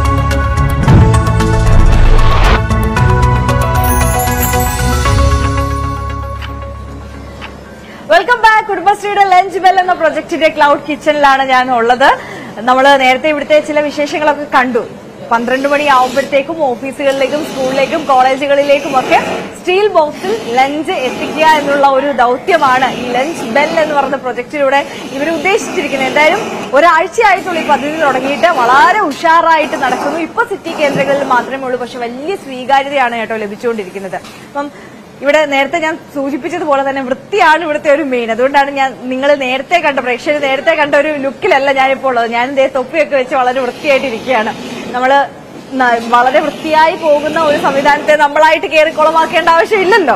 അതുകൊണ്ട് എല്ലാവരും വളരെ തകൃതിയായിട്ട് ജോലികൾ ഇങ്ങനെ തീർത്തുകൊണ്ടിരിക്കുകയാണ്. കാരണം ഒരു പത്തര പതിനൊന്ന് മണി ആകുമ്പോഴത്തേക്ക് ഫുൾ ലഞ്ച് പ്രിപ്പയർ ആയി കഴിയണമല്ലോ. അതെ ഇവിടെ ഈ പാത്രങ്ങളൊക്കെ ഇങ്ങനെ നല്ല ക്ലീൻ ചെയ്ത് അടുക്കി ഒതുക്കി വെച്ചിട്ടുണ്ട്. നേരത്തെ നമ്മുടെ ഗിരിജ ചേച്ചി നമ്മളോട് സംസാരിക്കുമ്പോൾ പറയുണ്ടായി ഇതുപോലെ ഈ വലിയൊരു ലഞ്ച് ബോക്സ് ഉണ്ടാവും ടിഫിൻ ഉണ്ടാവും. ഈ ടിഫിൻ ബോക്സിനകത്ത് ഇങ്ങനെ ഒരു ചെറിയ ബോക്സിനകത്തിലായിരിക്കും ചോറ് വരിക. നോക്കിക്കേ ഈ ബോക്സിനകത്തിൽ ചോറ് വരും. എന്നിട്ട് അതിന്റെ കൂടെ ഈ ചെറിയ ചെറിയ ടിഫിൻ ബോക്സുകളിലായിരിക്കും കറികളൊക്കെ ഉണ്ടാവുക. അപ്പം അറുപത് രൂപയുടെ ഒരു ചെറിയ സാധാരണ ഒരു വെജിറ്റേറിയൻ മീൽ ഉണ്ടാവും അതിൽ രണ്ട് ഒഴിച്ചുകറിയും പിന്നെ ഒരു തോരനും കൂട്ടുകറിയും അച്ചാറും ഒക്കെ അടങ്ങുന്ന അറുപത് രൂപയെ ഈടാക്കുന്നു എന്നുണ്ടെങ്കിൽ പോലും വളരെ വിഭവമായ ഒരു സദ്യ തന്നെയാണ് കേട്ടോ ഇവർ നമുക്ക് വേണ്ടിയിട്ട് ഒരുക്കുന്നത്. ഇനി പ്രീമിയം ലഞ്ച് ബോക്സും ഉണ്ട്. തൊണ്ണൂറ്റി ഒൻപത് രൂപയ്ക്കാണ് അതുള്ളത്. അതിലേക്ക് വരുമ്പം ഓംലെറ്റും മറ്റ് നോൺ വെജ് ഫിഷ് കറിയും ചിക്കനും ഒക്കെ ഇൻക്ലൂഡ് ആവുകയും ചെയ്യും. അപ്പം നേരത്തെ ഞാൻ പറഞ്ഞല്ലോ പ്രേക്ഷകരോട്. അതായത് ഒരു നമ്മൾ പോക്കറ്റ് സ്മാർട്ട് എന്ന് പറയുന്ന ഒരു ആപ്പിലൂടെയാണ് ഇത് ബുക്ക് ചെയ്യുന്നത്. ഞാൻ എങ്ങനെയാണ് ഇതിന്റെ പ്രോസസ്സ് എന്നൊന്ന് ഞാൻ കാണിച്ചു തരാം കേട്ടോ. അതായത് നമ്മൾ പോക്കറ്റ് മാർട്ട് നമുക്ക് പ്ലേ സ്റ്റോറിൽ നിന്ന് ഡൗൺലോഡ് ചെയ്യാൻ പറ്റും. അത് എടുത്തു കഴിഞ്ഞാൽ ഓപ്പൺ ചെയ്യുമ്പോൾ ഒരു ഫസ്റ്റ് പേജ് എന്ന് പറയുന്നത് ഇതാണ് കേട്ടോ. നമ്മൾ ഈ ഒരു സ്ക്രീനിലേക്കായിരിക്കും വരുന്നത്. ഇതിൽ രണ്ട് ഓപ്ഷൻ ആയിരിക്കും മെയിൻലി ഉണ്ടാവുക. ദേ നോക്കിയേ ഒരു വെജ് മീലും നോൺ വെജ് മീലും ഉണ്ടാവും. അത് നമുക്ക് ഏതാണോ വേണ്ടത് അത് നമുക്ക് സെലക്ട് ചെയ്യാം. വെജ് മീലിന് അറുപത് രൂപയാണ്. റൈസ് സാമ്പാർ പുളിശ്ശേരി തോരൻ മെഴുക്ക് പുരട്ടി പിക്കിൾ ചമ്മന്തി എന്തൊക്കെയാണ് ഈ ഡിഷിൽ ഉണ്ടാവുക എന്നുള്ളതും ദേ ഇതിൽ ആ, രജിസ്റ്റർ ചെയ്തിട്ടുണ്ടാവും കേട്ടോ. അപ്പം വളരെ ഹോംവേർഡ് ആയിട്ടുള്ള പ്രോഡക്ട്സ് മാത്രമേ അതായത് ഇവിടെ തന്നെ ഈ ക്ലൗഡ് കിച്ചണിൽ തന്നെ ഒരുക്കുന്ന വിഭവങ്ങൾ മാത്രമേ ഇതിൽ ഇൻക്ലൂഡ് ചെയ്തിട്ടുള്ളൂ കേട്ടോ. ഇതിലിപ്പോ നമ്മൾ ഏത് ലൊക്കേഷനിലാണ് എന്നും കൂടി നമ്മൾ സെലക്ട് ചെയ്ത് കൊടുക്കണം. മൂന്ന് ലൊക്കേഷനിലാണ് ഇപ്പോൾ ഉള്ളത്. Trivandrum medical college Pattom L M S. അതുകൊണ്ടാണ് ഇത് മൂന്ന് മാത്രം ഉള്ളത്. പക്ഷേ ഇപ്പം അഞ്ച് ലൊക്കേഷനുകളിലേക്ക് കൂടിയിട്ട് വരുന്നുണ്ട്. അപ്പം അതേക്കുറിച്ച് നമുക്ക് പ്രൊജക്ട് മാനേജർ തന്നെ കൂടുതൽ വിശദമായിട്ട് പറഞ്ഞു തരും കേട്ടോ. അപ്പൊ നമ്മളിപ്പോ ഈ ലൊക്കേഷനിൽ അല്ലാത്തത് കൊണ്ട് തന്നെ നമുക്ക് ഇവിടെ നിന്നിട്ട് ഇത് ഓർഡർ ചെയ്യാൻ പറ്റില്ല. നമ്മൾ ഈ ലൊക്കേഷനിലാണെന്നുണ്ടെങ്കിൽ ദണ്ട് സ്റ്റാച്യു ആയുർവേദ കോളേജ് കൂടിയുണ്ട്. അപ്പം ഈ ലൊക്കേഷനിൽ നിന്നുകൊണ്ട് നമുക്കിത് ഓർഡർ ചെയ്യാനായിട്ട് പറ്റും. അപ്പം ഇങ്ങനെയാണ് ഇതിന്റെ ഒരു ഓർഡറിംഗ് പ്രോസസ് അപ്പം ഈ പദ്ധതിയെ കുറിച്ച് കൂടുതൽ നമുക്ക് ഇതിന്റെ പ്രൊജക്ട് മാനേജർ ശ്രീ ജോണിനോട് തന്നെ ചോദിക്കാം. ഗുഡ് മോർണിംഗ് ആ അപ്പം ലഞ്ച് ബെല്ല് നമ്മുടെ ഈ മുംബൈയിലൊക്കെ നമ്മൾ കണ്ടിട്ടുള്ള ഡബ്ബാവാല കോൺസെപ്റ്റ് അല്ലേ? അത് ഇവിടേക്ക് കൊണ്ടുവരാനുള്ള ഒരു ഉദ്ദേശം എന്തായിരുന്നു? കൂടുതൽ ഓഫീസുകളൊക്കെ ഉള്ള പ്രവർത്തിക്കുന്ന സ്ഥലമാണ് ട്രിവാൻഡ്രം അപ്പം ആളുകൾക്ക് രാവിലെ ഓഫീസിലെത്താനുള്ള തിരക്കുകൊണ്ട് പലപ്പോഴും ലഞ്ച് പ്രിപ്പയർ ചെയ്യാനൊക്കെ സാധിക്കാതെ വരും. ഇത് മാത്രമല്ല അഥവാ ഒരു പൊതിച്ചോറ് കൊണ്ടുവന്നാൽ ഈ വേസ്റ്റ് കളയാനായിട്ടൊക്കെ അതിന്റെ ഒരുപാട് ബുദ്ധിമുട്ടുകൾ അനുഭവിക്കുന്നുണ്ട്. അപ്പോൾ ആ വേസ്റ്റേജ് കുറയ്ക്കുക ഒരു എക്കോ ഫ്രണ്ട്ലി പ്രാക്ടീസസ് ആളുകളിലേക്ക് എത്തിക്കുക എന്നുള്ള ഉദ്ദേശത്തോടുകൂടിയാണ് തിരുവനന്തപുരം. എല്ലാത്തിന്റെയും ഒരു ഭരണസിരാ കേന്ദ്രം എന്നതിനപ്പുറം കുറെ ഓഫീസുകളുള്ള ഒരു സ്ഥലം കൂടി ആയതുകൊണ്ട് പല ജില്ലകളിൽ നിന്ന് വരുന്ന ആളുകൾ ഇവിടേക്ക് എത്തുന്നുണ്ട്. അപ്പൊ അവർക്കൊക്കെ ചിലപ്പോൾ രാവിലെ വന്നു പോകുന്നവരുണ്ട് ഈ സമീപ പത്തനംതിട്ട കൊല്ലം ജില്ലകളിൽ നിന്നൊക്കെ. അപ്പോൾ വരുമ്പോൾ ഈ ലഞ്ച് ബോക്സ് കൊണ്ടുവരിക എന്ന് പറയുന്നത് വളരെ ബുദ്ധിമുട്ടുള്ള ഒരു കാര്യമാണ്. അവർക്ക് ഇത് കൂടുതൽ ഹെൽപ്ഫുൾ ആവും എന്നുള്ള ഒരു ആശയമായിരിക്കും അല്ലേ. ഇപ്പം മെയിൻലി ഇത് ഈ പദ്ധതി ആസൂത്രണം ചെയ്തിട്ട് നമ്മളിപ്പോ അടുത്തിടെ തന്നെയാണോ? നമ്മളിപ്പോൾ തുടങ്ങിയിട്ടൊരു വൺ വീക്ക് ആവുന്നതേ ഉള്ളൂ. ആരംഭിച്ചിട്ട് അപ്പം ആളുകളിൽ നിന്ന് നല്ല റെസ്പോൺസ് ആണ് കിട്ടിക്കൊണ്ടിരിക്കുന്നത്. എല്ലാവരും നല്ല പോസിറ്റീവ് ആയിട്ടുള്ള ഒരു ഇതാണ് പറയുന്നത്. കാരണം നമ്മൾ ഈ ലഞ്ച് ബോക്സ് നമ്മൾ ഇങ്ങനെയാണ്. റൈസ് ഉണ്ടാവും. പിന്നെ മൂന്ന് കറികളുണ്ടാവും. ഇത് നോൺ വെജിന്റെ ആണെങ്കിലും വെജിന്റെ ആണെങ്കിലും മൂന്ന് കറികളുണ്ടാവും. നോൺ വെജിൽ നമ്മൾ ഫിഷ് ആഡ് ചെയ്യുന്നുണ്ട്. ഓംലെറ്റ് ഉണ്ട്. പിന്നെ അത് കൂടാതെ വാഴയിലയിൽ പൊതിഞ്ഞ് നമ്മൾ മെഴുക്ക് പുരട്ടി അവിയൽ അങ്ങനെ ഓപ്ഷനിലായി വേറെ വാഴയിലയിൽ നമ്മൾ രണ്ട് കറികളും കൂടെ വെക്കുന്നുണ്ട്. അവിയൽ മെഴുക്ക് പുരട്ടി അങ്ങനെ ഇതെല്ലാം എല്ലാ ദിവസവും മെനു നമ്മൾ ചേഞ്ച് ചെയ്യുന്നുണ്ട്. കാരണം ഒരേ ദിവസം ഒരേ ഫുഡുകൾ കൊടുത്തു കഴിഞ്ഞാൽ ആളുകൾക്ക് ഒരു ഇറിറ്റേഷൻ ഉണ്ടാകും എല്ലാ ദിവസവും നമ്മൾ കറികൾ ചേഞ്ച് ചെയ്യുന്നുണ്ട് എല്ലാ ദിവസവും. എല്ലാ ദിവസവും മാറുന്നുണ്ടാവും അല്ലേ? അതെ, അപ്പൊ ഈ ഒരു മാസത്തേക്ക് ഒരുമിച്ച് ഓർഡർ ചെയ്യാം അല്ലേ? ഒരു മാസത്തേക്കുള്ള ഓപ്ഷൻ ഇപ്പം നമ്മൾ തുടക്കത്തിൽ നമ്മൾ അത് ചെയ്തിട്ടില്ല. ഇൻ ഫ്യൂച്ചറിൽ നമുക്ക് എന്തായാലും ബൾക്കായിട്ട് ഓർഡർ ചെയ്യാനുള്ള ഒരു ഓപ്ഷൻ ഉണ്ടാവും. അതേപോലെ തന്നെ ആളുകൾക്ക് മുൻകൂട്ടി ബുക്ക് ചെയ്യാം രാവിലെ ഏഴ് മണി വരെയാണ് അവർക്ക് ബുക്ക് ചെയ്യാൻ പറ്റുള്ളൊരു സമയമുള്ളത്. തലേ ദിവസം മുതൽ അവർക്ക് ഓർഡർ ചെയ്യാം. പക്ഷെ രാവിലെ ഏഴ് മണിക്ക് മുമ്പ് വരെയുള്ള ഓർഡറുകളാണ് നമ്മൾ അന്ന് ഡെലിവറി ചെയ്യുന്നത്. വേസ്റ്റ് ആവണ്ടെന്ന് കരുതിയിട്ടായിരിക്കും എക്സ്ട്രാ ഉണ്ടാക്കി വെക്കാത്തത്? അതാണ് ഈ കറക്റ്റ് എണ്ണം കിട്ടിയതിന് ശേഷമാണോ ഉണ്ടാക്കുന്നത്? അതാണ് ഈ രാവിലെ മണി ഏഴ് മണിയാകുമ്പോഴത്തേക്ക് നമുക്ക് അന്നത്തേക്കുള്ള ഓർഡേഴ്സിന്റെ കൗണ്ട് കിട്ടും. എന്തായാലും രാവിലെ അഞ്ചു മണി മുതൽ പ്രിപ്പറേഷൻ ആരംഭിക്കും നമ്മൾ ഏഴ് മണിയാകുമ്പോഴത്തേക്കും എക്സാക്ട് കൗണ്ടർ നമുക്ക് കിട്ടും. ഓക്കെ ഓക്കെ അപ്പൊ ദിവസം എത്ര ഓർഡർ വരെ കിട്ടും? നമുക്ക് പരമാവധി ഇപ്പൊ നമ്മൾ നൂറ്റൻപത് ഓർഡറാണ് നൂറ്റമ്പത് ആ. നൂറ്റൻപത് ഓർഡറാണ് എനിക്ക് തോന്നുന്നു തുടങ്ങിയതിനേക്കാൾ ആ, കൂടി കൂടി വരുന്നുണ്ടല്ലേ കൂടി വരുന്നുണ്ട്. അപ്പം ഓരോ ദിവസം ചെല്ലുന്നതോറും എണ്ണം കൂടും എന്നുള്ളതാണ് പ്രതീക്ഷിക്കുന്നത്. ഞാൻ ഇങ്ങോട്ട് വരുമ്പോൾ ഈ ഒരു ഓഫറിനെ കുറിച്ച് കേട്ടായിരുന്നു. സത്യമാണോ എനിക്ക് അറിഞ്ഞുകൂടാ തുടക്കം എന്നുള്ള രീതിയിൽ ആദ്യം നമ്മൾ ഓഫർ ഇട്ടിരുന്നു. ആദ്യം ഓർഡർ ചെയ്യുന്ന അമ്പത് പേർക്ക് ഫ്രീ ആയിട്ടും. ആദ്യത്തെ ദിവസമാണോ അതോ? ആദ്യമത്തെ ഒരു വൺ വീക്ക് നമ്മൾ ഇട്ടിരുന്നു. ആ ഓക്കെ ഇപ്പൊ അത് കഴിഞ്ഞു. ഇപ്പം നമുക്ക് വെച്ചാൽ ആദ്യം ഓർഡർ ചെയ്യുന്ന അമ്പത് പേർക്ക് ഇരുപത് ശതമാനം ഓഫർ ഉണ്ട്. ഓ ആദ്യം ഓർഡർ ചെയ്യുന്ന അമ്പത് പേർക്ക് ഇരുപത് ശതമാനം ഓഫർ അത് ഇപ്പോഴും ഉണ്ട്. ആദ്യത്തെ വൺ വീക്ക് അമ്പത് പേർക്ക് ഫ്രീ ആയിരുന്നു അല്ലേ ഫുഡ് ഓർഡർ ചെയ്യുന്ന അമ്പത് പേർക്ക് ഫ്രീ ആയിരുന്നു. പിന്നെയുള്ള ആളുകൾ അമ്പത് പേർക്ക് നമ്മൾ ഇരുപത് ശതമാനം ഇട്ടിരുന്നു. അടുത്ത അമ്പത് പേർക്ക് പത്ത് ശതമാനം ഇട്ടിരുന്നു. ഇപ്പൊ നമ്മളത് ആദ്യം ഓർഡർ ചെയ്യുന്ന അമ്പത് പേരിലേക്ക് മാത്രമായിട്ട് ചുരുക്കി. ഇത് ആദ്യത്തെ യൂണിറ്റ് ആണല്ലോ. അപ്പം ഇവിടെ ഇപ്പം എത്ര ആളുകളുണ്ട്? ഇവിടെ ഇപ്പൊ നമ്മൾ കിച്ചൺ പ്രൊഡക്ഷൻ ടീമിൽ നമ്മളിപ്പം ആറ് പേരുണ്ട്. ഡെലിവറിക്ക് നമ്മൾ എട്ട് എല്ലാം കുടുംബശ്രീയുടെ പ്രവർത്തകർ തന്നെയാണല്ലോ. പക്ഷേ ഈ കുക്ക് ചെയ്യുന്ന ആളുകളല്ല ഈ ഡെലിവറിക്ക് പോകുന്നത്. അതിന് അതിന് പ്രത്യേക ഒരു ടീമുണ്ട്. ഓ ശരി ശരി. അവർ രാവിലെ പത്ത് മണിക്ക് ഇവിടുത്തെ ഡെലിവറി ഇറങ്ങി കഴിഞ്ഞാൽ പന്ത്രണ്ടരയ്ക്കുള്ളിൽ എല്ലായിടത്തും സാധനം ഡെലിവറി ചെയ്ത് തീർക്കും. അതിനുശേഷം മൂന്ന് മണിക്ക് മുമ്പ് കഴിച്ച പാത്രം തിരിച്ച് കളക്ട് ചെയ്യുന്നുണ്ട്. അപ്പം അതിന് വേണ്ടിയിട്ട് നമ്മൾ ചേച്ചിമാര് തന്നെയാണോ ഈ അവർ പറയുന്നത് ആ ലൊക്കേഷനിൽ തന്നെ ഉണ്ടാവും.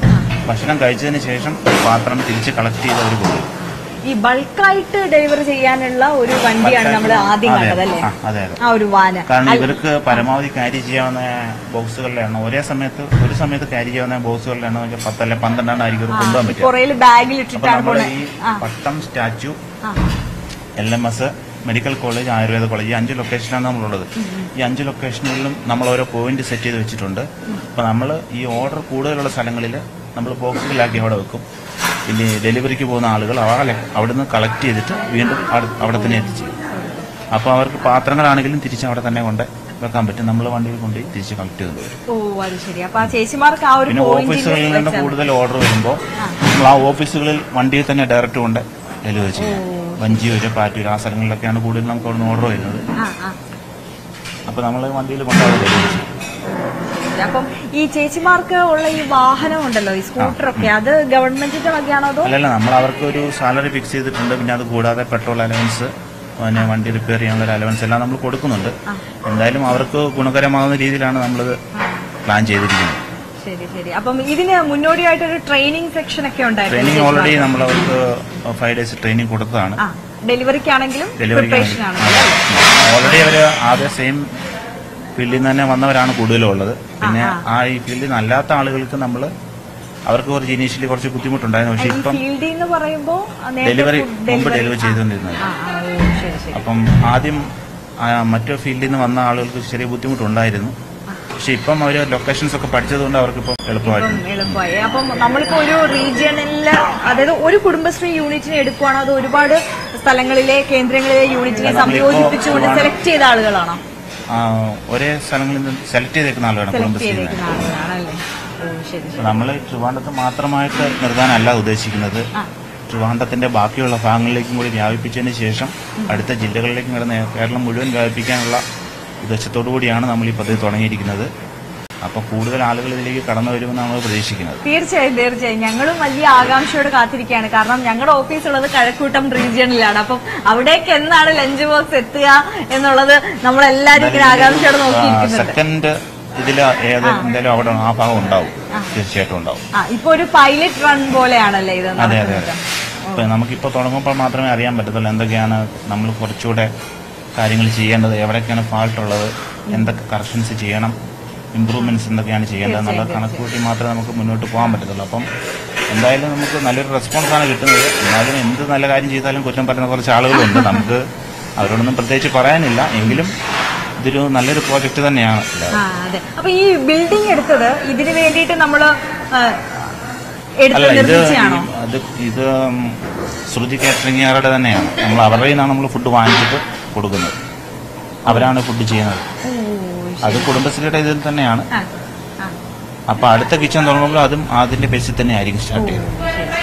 അപ്പം ഈ ലഞ്ച് ബോക്സിന്റെ കാര്യം നമ്മൾ ഈ ക്ലീനിങ്ങിനെ കുറിച്ച് പറഞ്ഞു. ഇപ്പം വാങ്ങുന്ന കസ്റ്റമേഴ്സ് അത് ക്ലീൻ ചെയ്തില്ലെങ്കിലും കുഴപ്പമില്ല തിരിച്ചെടുത്തോണ്ട് വരും അല്ലേ? അപ്പൊ ഇവിടെ ത്രീ സ്റ്റെപ്പ് ഹൈജീൻ പ്രോസസ് ഉണ്ടോ?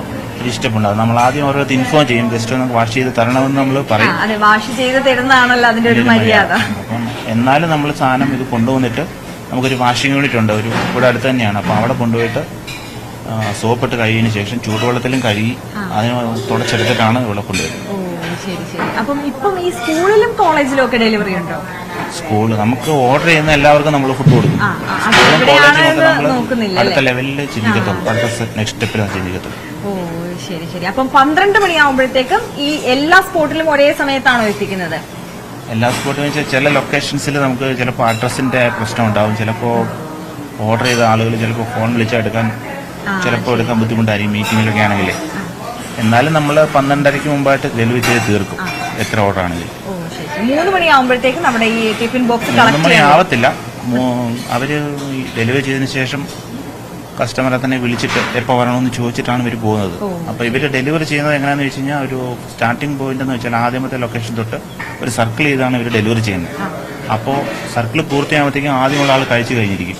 അപ്പം അങ്ങനെ വീണ്ടും കളക്ട് ചെയ്തിട്ട് അങ്ങനെയാണ് വരുന്നത്. ശരി ശരി. അപ്പൊ നമുക്ക് ഇവിടെ വന്ന് നേരിട്ട് ഇത് വാങ്ങാൻ പറ്റുമോ ലഞ്ച് ബോക്സ് ഇപ്പോ നമുക്ക് അങ്ങനെ ഒരു പെർമിഷൻ ഇല്ല. ഇപ്പൊ ഈ പോക്കറ്റ് മാർട്ട് എന്നുള്ള ആപ്പ് കൂടിയാണ് ബുക്ക് ചെയ്ത് ശരി ശരി. അപ്പം വളരെ നന്ദി. അപ്പൊ ഞാൻ ഇവിടുത്തെ അകത്തെ കുറച്ച് വിശേഷങ്ങളും കൂടി പ്രേക്ഷകരിലേക്ക് കാണിക്കാൻ കേട്ടോ. നേരത്തെ നമ്മൾ ഗിരിജ ചേച്ചിയെ പരിചയപ്പെട്ടു. ചേച്ചിമാർ മാത്രമല്ല കേട്ടോ. ഇവിടെ കുറച്ച് ചേട്ടന്മാരും കൂടിയുണ്ട്. ഉണ്ട് ഇവിടെ എല്ലാ സഹായങ്ങൾക്കും വളരെ തിരക്കിട്ട ജോലിയിലാണ്.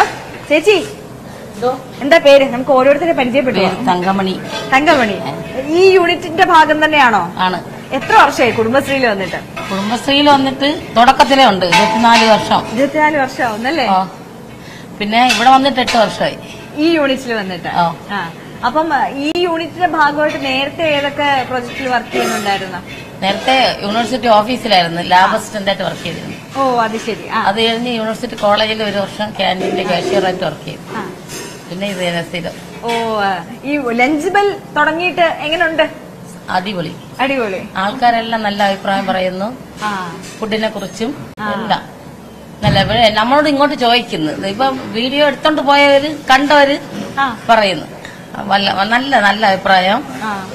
പിന്നെ എല്ലാവർക്കും ഫുഡിനെ കുറിച്ചും നല്ല അഭിപ്രായം. ഞങ്ങൾക്ക് ഇതല്ലാതെ വേറെ വർക്കുണ്ട്. ഫുഡ് നമ്മളിപ്പം സ്ഥലത്തോട്ട് പോകും. ഹരിത കർമ്മസേനയ്ക്ക് ഫുഡ് കൊടുക്കുന്നു. കോർപ്പറേഷന്റെ സർക്കാരിന്റെ മിക്ക പണി നമ്മൾ തന്നെ ചെയ്യുന്നത് നിയമസഭയ്ക്കകത്ത് എല്ലാം ഞങ്ങൾ തന്നെ. അല്ല. പ്രൊജക്ടിന്റെ ഭാഗം തന്നെ. അല്ല.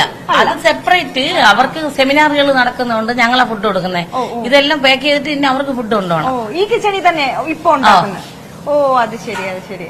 അവർക്ക് അവർക്ക് കുറെ ബാച്ച് നാല് ബാച്ചായിട്ട് ഇന്ന് നാലാമത്തെ ബാച്ചാണ് മൂന്ന് ദിവസമാണ് അവർക്ക്. അവർക്ക് കാപ്പി കൊടുക്കും പിന്നെ ചോറ്. വിളമ്പി കൊടുക്കാൻ പോകും അപ്പൊ ഭയങ്കര സന്തോഷം അവർക്കൊക്കെ. രാവിലെ അഞ്ചു മണി ആവുമ്പോഴത്തേക്ക് എത്തുമോ ഇവിടെ അഞ്ചു മണി ഞാൻ ആറു മണിക്കാണ് വരണേ.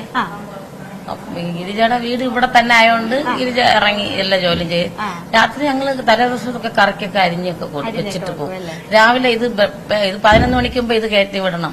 ലഞ്ച് ആവുമ്പോഴത്തേക്ക് പാക്ക് ചെയ്ത് കയറ്റി അല്ലേ പക്ഷെ ഭയങ്കര നല്ല അഭിപ്രായം എന്ന് പറഞ്ഞാൽ നമുക്ക് ഇപ്പോഴും വർക്ക് കിട്ടും. മറ്റോ മറ്റേ കൊണ്ടുപോകുന്നില്ലേ ആ കുട്ടികൾക്ക് വർക്ക് കിട്ടും. ഒരുപാട് പേർക്കൊരു ഒരു ഉപജീവന മാർഗം ഉപജീവന മാർഗം. പിന്നെ വീടുകളിൽ വെറുതെ ഇരിക്കുമ്പോൾ ചോറും കൊണ്ട് കൊടുക്കുന്നു അവർക്ക് പക്ഷെ അവർക്ക് ഭയങ്കര സന്തോഷം. കാരണം എല്ലാം ഡിസ്പോസിബിൾ അല്ലല്ലോ. നമ്മൾ മറ്റേ ടിഫിൻ ബോക്സിലായോണ്ട് അത് നമുക്ക് റീയൂസ് ചെയ്യാം. അവർ കഴുകിയില്ലെങ്കിൽ ഇവിടെ തന്നെ കഴുകാനും അതിനുള്ള സംവിധാനങ്ങളൊക്കെ ആൾക്കാരുണ്ട്. ഈ ഫുഡ് ഡെലിവറിങ് ആപ്പ് ഒക്കെ നേരത്തെ ഉണ്ടെങ്കിലും ഈ പൊതുവെ ഹോട്ടലിൽ നിന്നാണല്ലോ ഫുഡ് കിട്ടുന്നത്. ഇതിപ്പോ വിശ്വാസം. അതെ വിശ്വാസം. വീട്ടിൽ വെക്കുന്ന ഫുഡ് ഫാമിലി ഫുഡ് ആകുമ്പോഴേ എല്ലാവർക്കും ഭയങ്കര വിശ്വാസം. ടേസ്റ്റ് ആയിട്ട് കഴിക്കാം. പിന്നെ എല്ലാം ഒന്നാം തരം സാധനങ്ങളാണ്. വെളിച്ചെണ്ണയിലാണ് കൊടുക്കുന്നത്. പിന്നെ ചോറ് ചമ്പാവരി നല്ല ചമ്പാവരി ചോറാണ്. പുളിശ്ശേരി എല്ലാം. പിന്നെ വേറെ ഭയങ്ങൾ ഞങ്ങൾ ഈ ഞങ്ങൾ കൊണ്ടുപോകുന്ന വിളമ്പാൻ പോകുന്നില്ലേ? അവിടെ ചെന്ന് ഞങ്ങൾ അവരെ കൂടെ തിരുന്ന കഴിക്കണം. അവരൊക്കെ കൊടുത്ത ശേഷം അധികം ഉണ്ടെങ്കിൽ നമ്മൾ കഴിക്കും. അല്ലെങ്കിൽ നമ്മൾ ഇവിടെ വന്ന് കഴിക്കും. അപ്പൊ ഈ പച്ചക്കറികളും ഈ പൊടികളും ഒക്കെ ഈ മുളകൊക്കെ വാങ്ങി ഉണക്കി പൊടിപ്പിച്ച് മുളക് മല്ലി മഞ്ഞൾ ഒക്കെ പൊടിച്ച വെക്കണേ. പൊടി ഐറ്റങ്ങൾ അങ്ങനെ വാങ്ങൂല വാങ്ങത്തില്ല. എല്ലാം പൊടിച്ചല്ല പൊടിച്ച് തന്നെ വെക്കുന്നത്. പിന്നെ കല്ലിപ്പ് യൂസ് ചെയ്യുന്നുണ്ട്. എല്ലാം നമുക്ക് നമുക്ക് ഞങ്ങൾക്ക് ഞങ്ങളും കഴിക്കും. ഞങ്ങളുടെ മക്കൾ കഴിക്കുന്നു ഞങ്ങൾ കഴിക്കുന്നു. ഇവിടെ നമ്മൾ ഫുഡ് എടുത്ത് വെക്കുന്നത് ഇവിടെ അമ്മയ്ക്കൊക്കെ നമ്മൾ അവിടെ ഫുഡ് തന്നെ കൊടുക്കുന്നത്. അമ്മ സെപ്പറേറ്റ് വഹിക്കുന്നില്ല ആ നമുക്ക് അമ്മയിലേക്ക് വരണം. അതിനു മുമ്പ് ഞാൻ ഒരു കാര്യം ചോദിക്കട്ടെ? കുക്കിങ്ങിനപ്പുറം ഞങ്ങൾ ചില വിശേഷങ്ങളൊക്കെ അറിഞ്ഞിട്ടുണ്ട്. നല്ലൊരു പാട്ടുകാരിയാണെന്ന്. പാട്ടൊന്നും നാടൻ പാട്ട് കലാകാരിയാണ് മതിയല്ലോ. പിന്നെ പ്രോഗ്രാമിന് ശരി ശരി. പറയും. പിന്നെ നമ്മൾ എവിടെങ്കിലും വിളമ്പാൻ പോകുമ്പോ ഗിരിജ തന്നെ പറയും സാറേ ഇത് പാട്ട് പാടുന്ന ആളാണ്. അങ്ങനെ ചിലപ്പോ സാറുമാര് വിളിച്ച് പാടും അങ്ങനെയാണ് ഞങ്ങളും അറിഞ്ഞത്. ഞങ്ങൾ ഇവിടെ വരുന്നതിന് മുമ്പേ അറിഞ്ഞു. തങ്കമണി തങ്കമണി ചേച്ചി നല്ലൊരു പാട്ടുകാരിയാണെന്ന്. വൈറൽ തങ്കം എന്നാണ് വിളിക്കുന്നത്. ഓ അത് ശരി. വൈറൽ തങ്കമാണ് അത് കൊറോണ സമയത്ത് ഞങ്ങൾ ഫുഡ് നമ്മളൊരു കല്യാണ മണ്ഡപം എടുത്താണ് ഫുഡ് ചെയ്തത്. ഈ ക്വാറന്റൈൻ കിടക്കുന്നവർക്കും കൊറോണ പേഷ്യന്റിനും എല്ലാം നമ്മൾ ക്യാന്റീനാണ് നമ്മുടെ കിച്ചണിൽ നിന്ന് പൊയ്ക്കൊണ്ടിരുന്നത്. അപ്പം ഇന്റർവ്യൂ നമ്മളിങ്ങനെ കുറച്ച് നേരം പോകാൻ പാസ് ചെയ്യാൻ വേണ്ടി നമ്മൾ ഫുഡ് പാട്ടുകൾ പാടും. അങ്ങനെ അപ്പം ലൈവാണ് അപ്പം പുട്ട് ദോശ ഒക്കെ ലൈവാ പയ്യന്മാര് വരും ഉണ്ടാക്കാൻ. നമ്മൾ എല്ലാം പാക്കിംഗ് ആണ്. വേവിക്കാൻ വേറെ ആൾ. നമ്മളെ കൊണ്ട് അത്ര രണ്ടായിരം മൂവായിരം പേർക്ക് നമുക്ക് വേവിക്കാൻ പറ്റത്തില്ലല്ലോ. അപ്പൊ ആണുങ്ങൾ വേവിക്കും. ഞങ്ങളെല്ലാം പാക്കിംഗ് ആണ്. പാട്ടുകൾ പാടിയിരുന്നു. അങ്ങനെ പാട്ട് പാടിയപ്പോ ഒരു പാട്ട് വേറെ അപ്പൊ കൊറോണ ആയതുകൊണ്ട് എല്ലാരും കണ്ട്. അങ്ങനെ വൈറലായി. അതാണ് വൈറൽ തങ്കു വൈറൽ തങ്കു എന്ന് വിളിക്കുന്നത് അപ്പൊ ഞങ്ങൾക്ക് വേണ്ടിയിട്ട് ഒരു പാട്ട് പാടത്തില്ലേ ഇപ്പൊ? പാടിത്തരാം എന്നാ വൈറലായ പാട്ടിൽ നിന്ന് തന്നെ നമുക്ക് വൈറലായ? പാട്ടെന്ന് പറഞ്ഞാൽ വിപ്ലവം പാട്ടാണ്.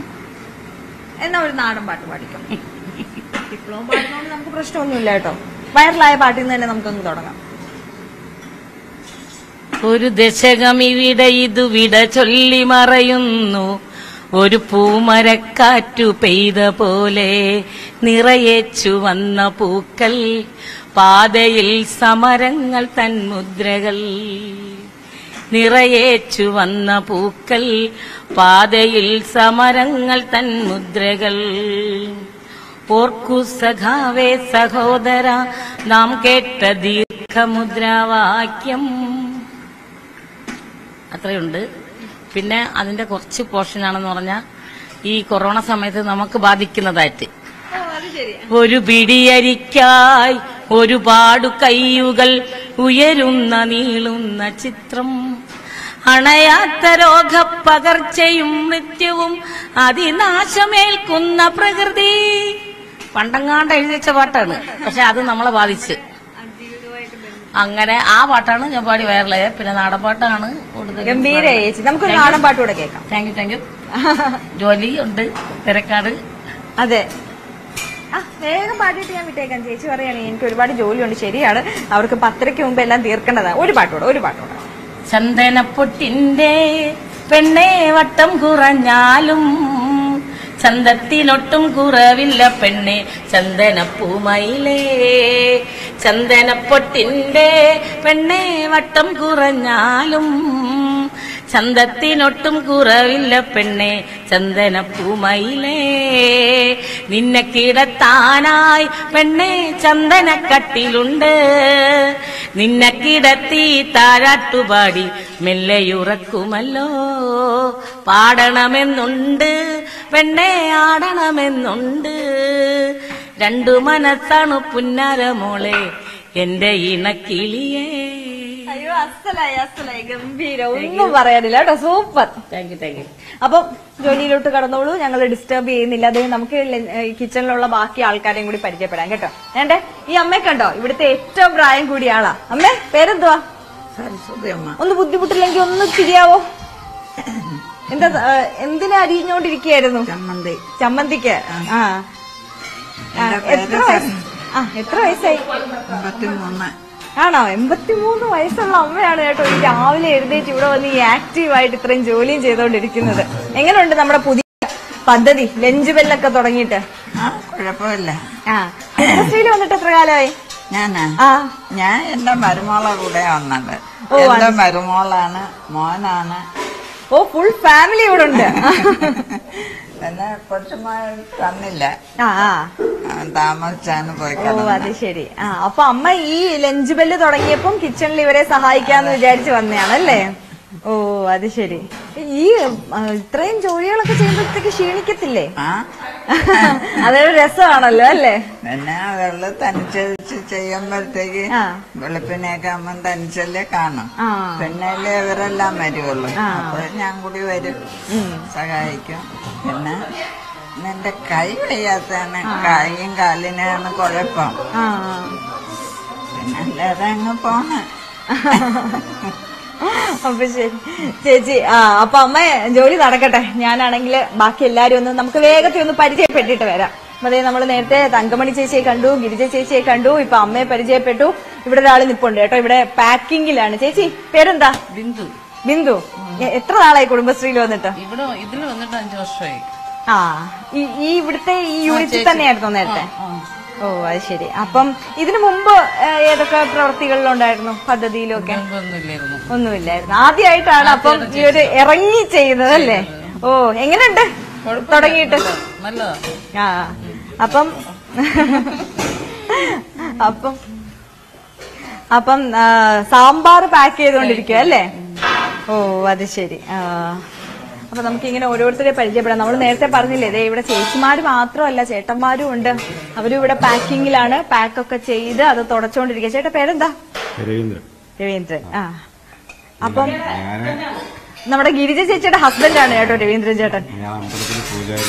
ഓ അത് ശരി. ആ അത് കഴിഞ്ഞിട്ട് വന്നിട്ട് ഈ പരിപാടിയിലോട്ട് കയറും അല്ലേ?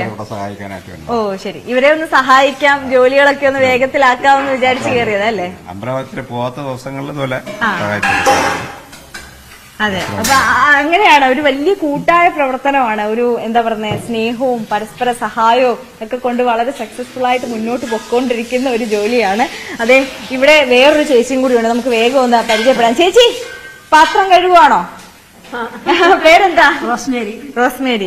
ഇവിടെ വന്നിട്ട് എത്ര കാലായി? ഈ യൂണിറ്റ് തുടങ്ങിയപ്പോ തൊട്ടുണ്ടോ? യൂണിവേഴ്സിറ്റി ആ ശരി. ഓ അപ്പൊ യൂണിവേഴ്സിറ്റി ക്യാന്റീനിലായിരുന്നു ജോലി. ഓ അത് ശരി. ലഞ്ച് ബെല്ല് തുടങ്ങിയിട്ട് എന്തൊക്കെയുണ്ട്?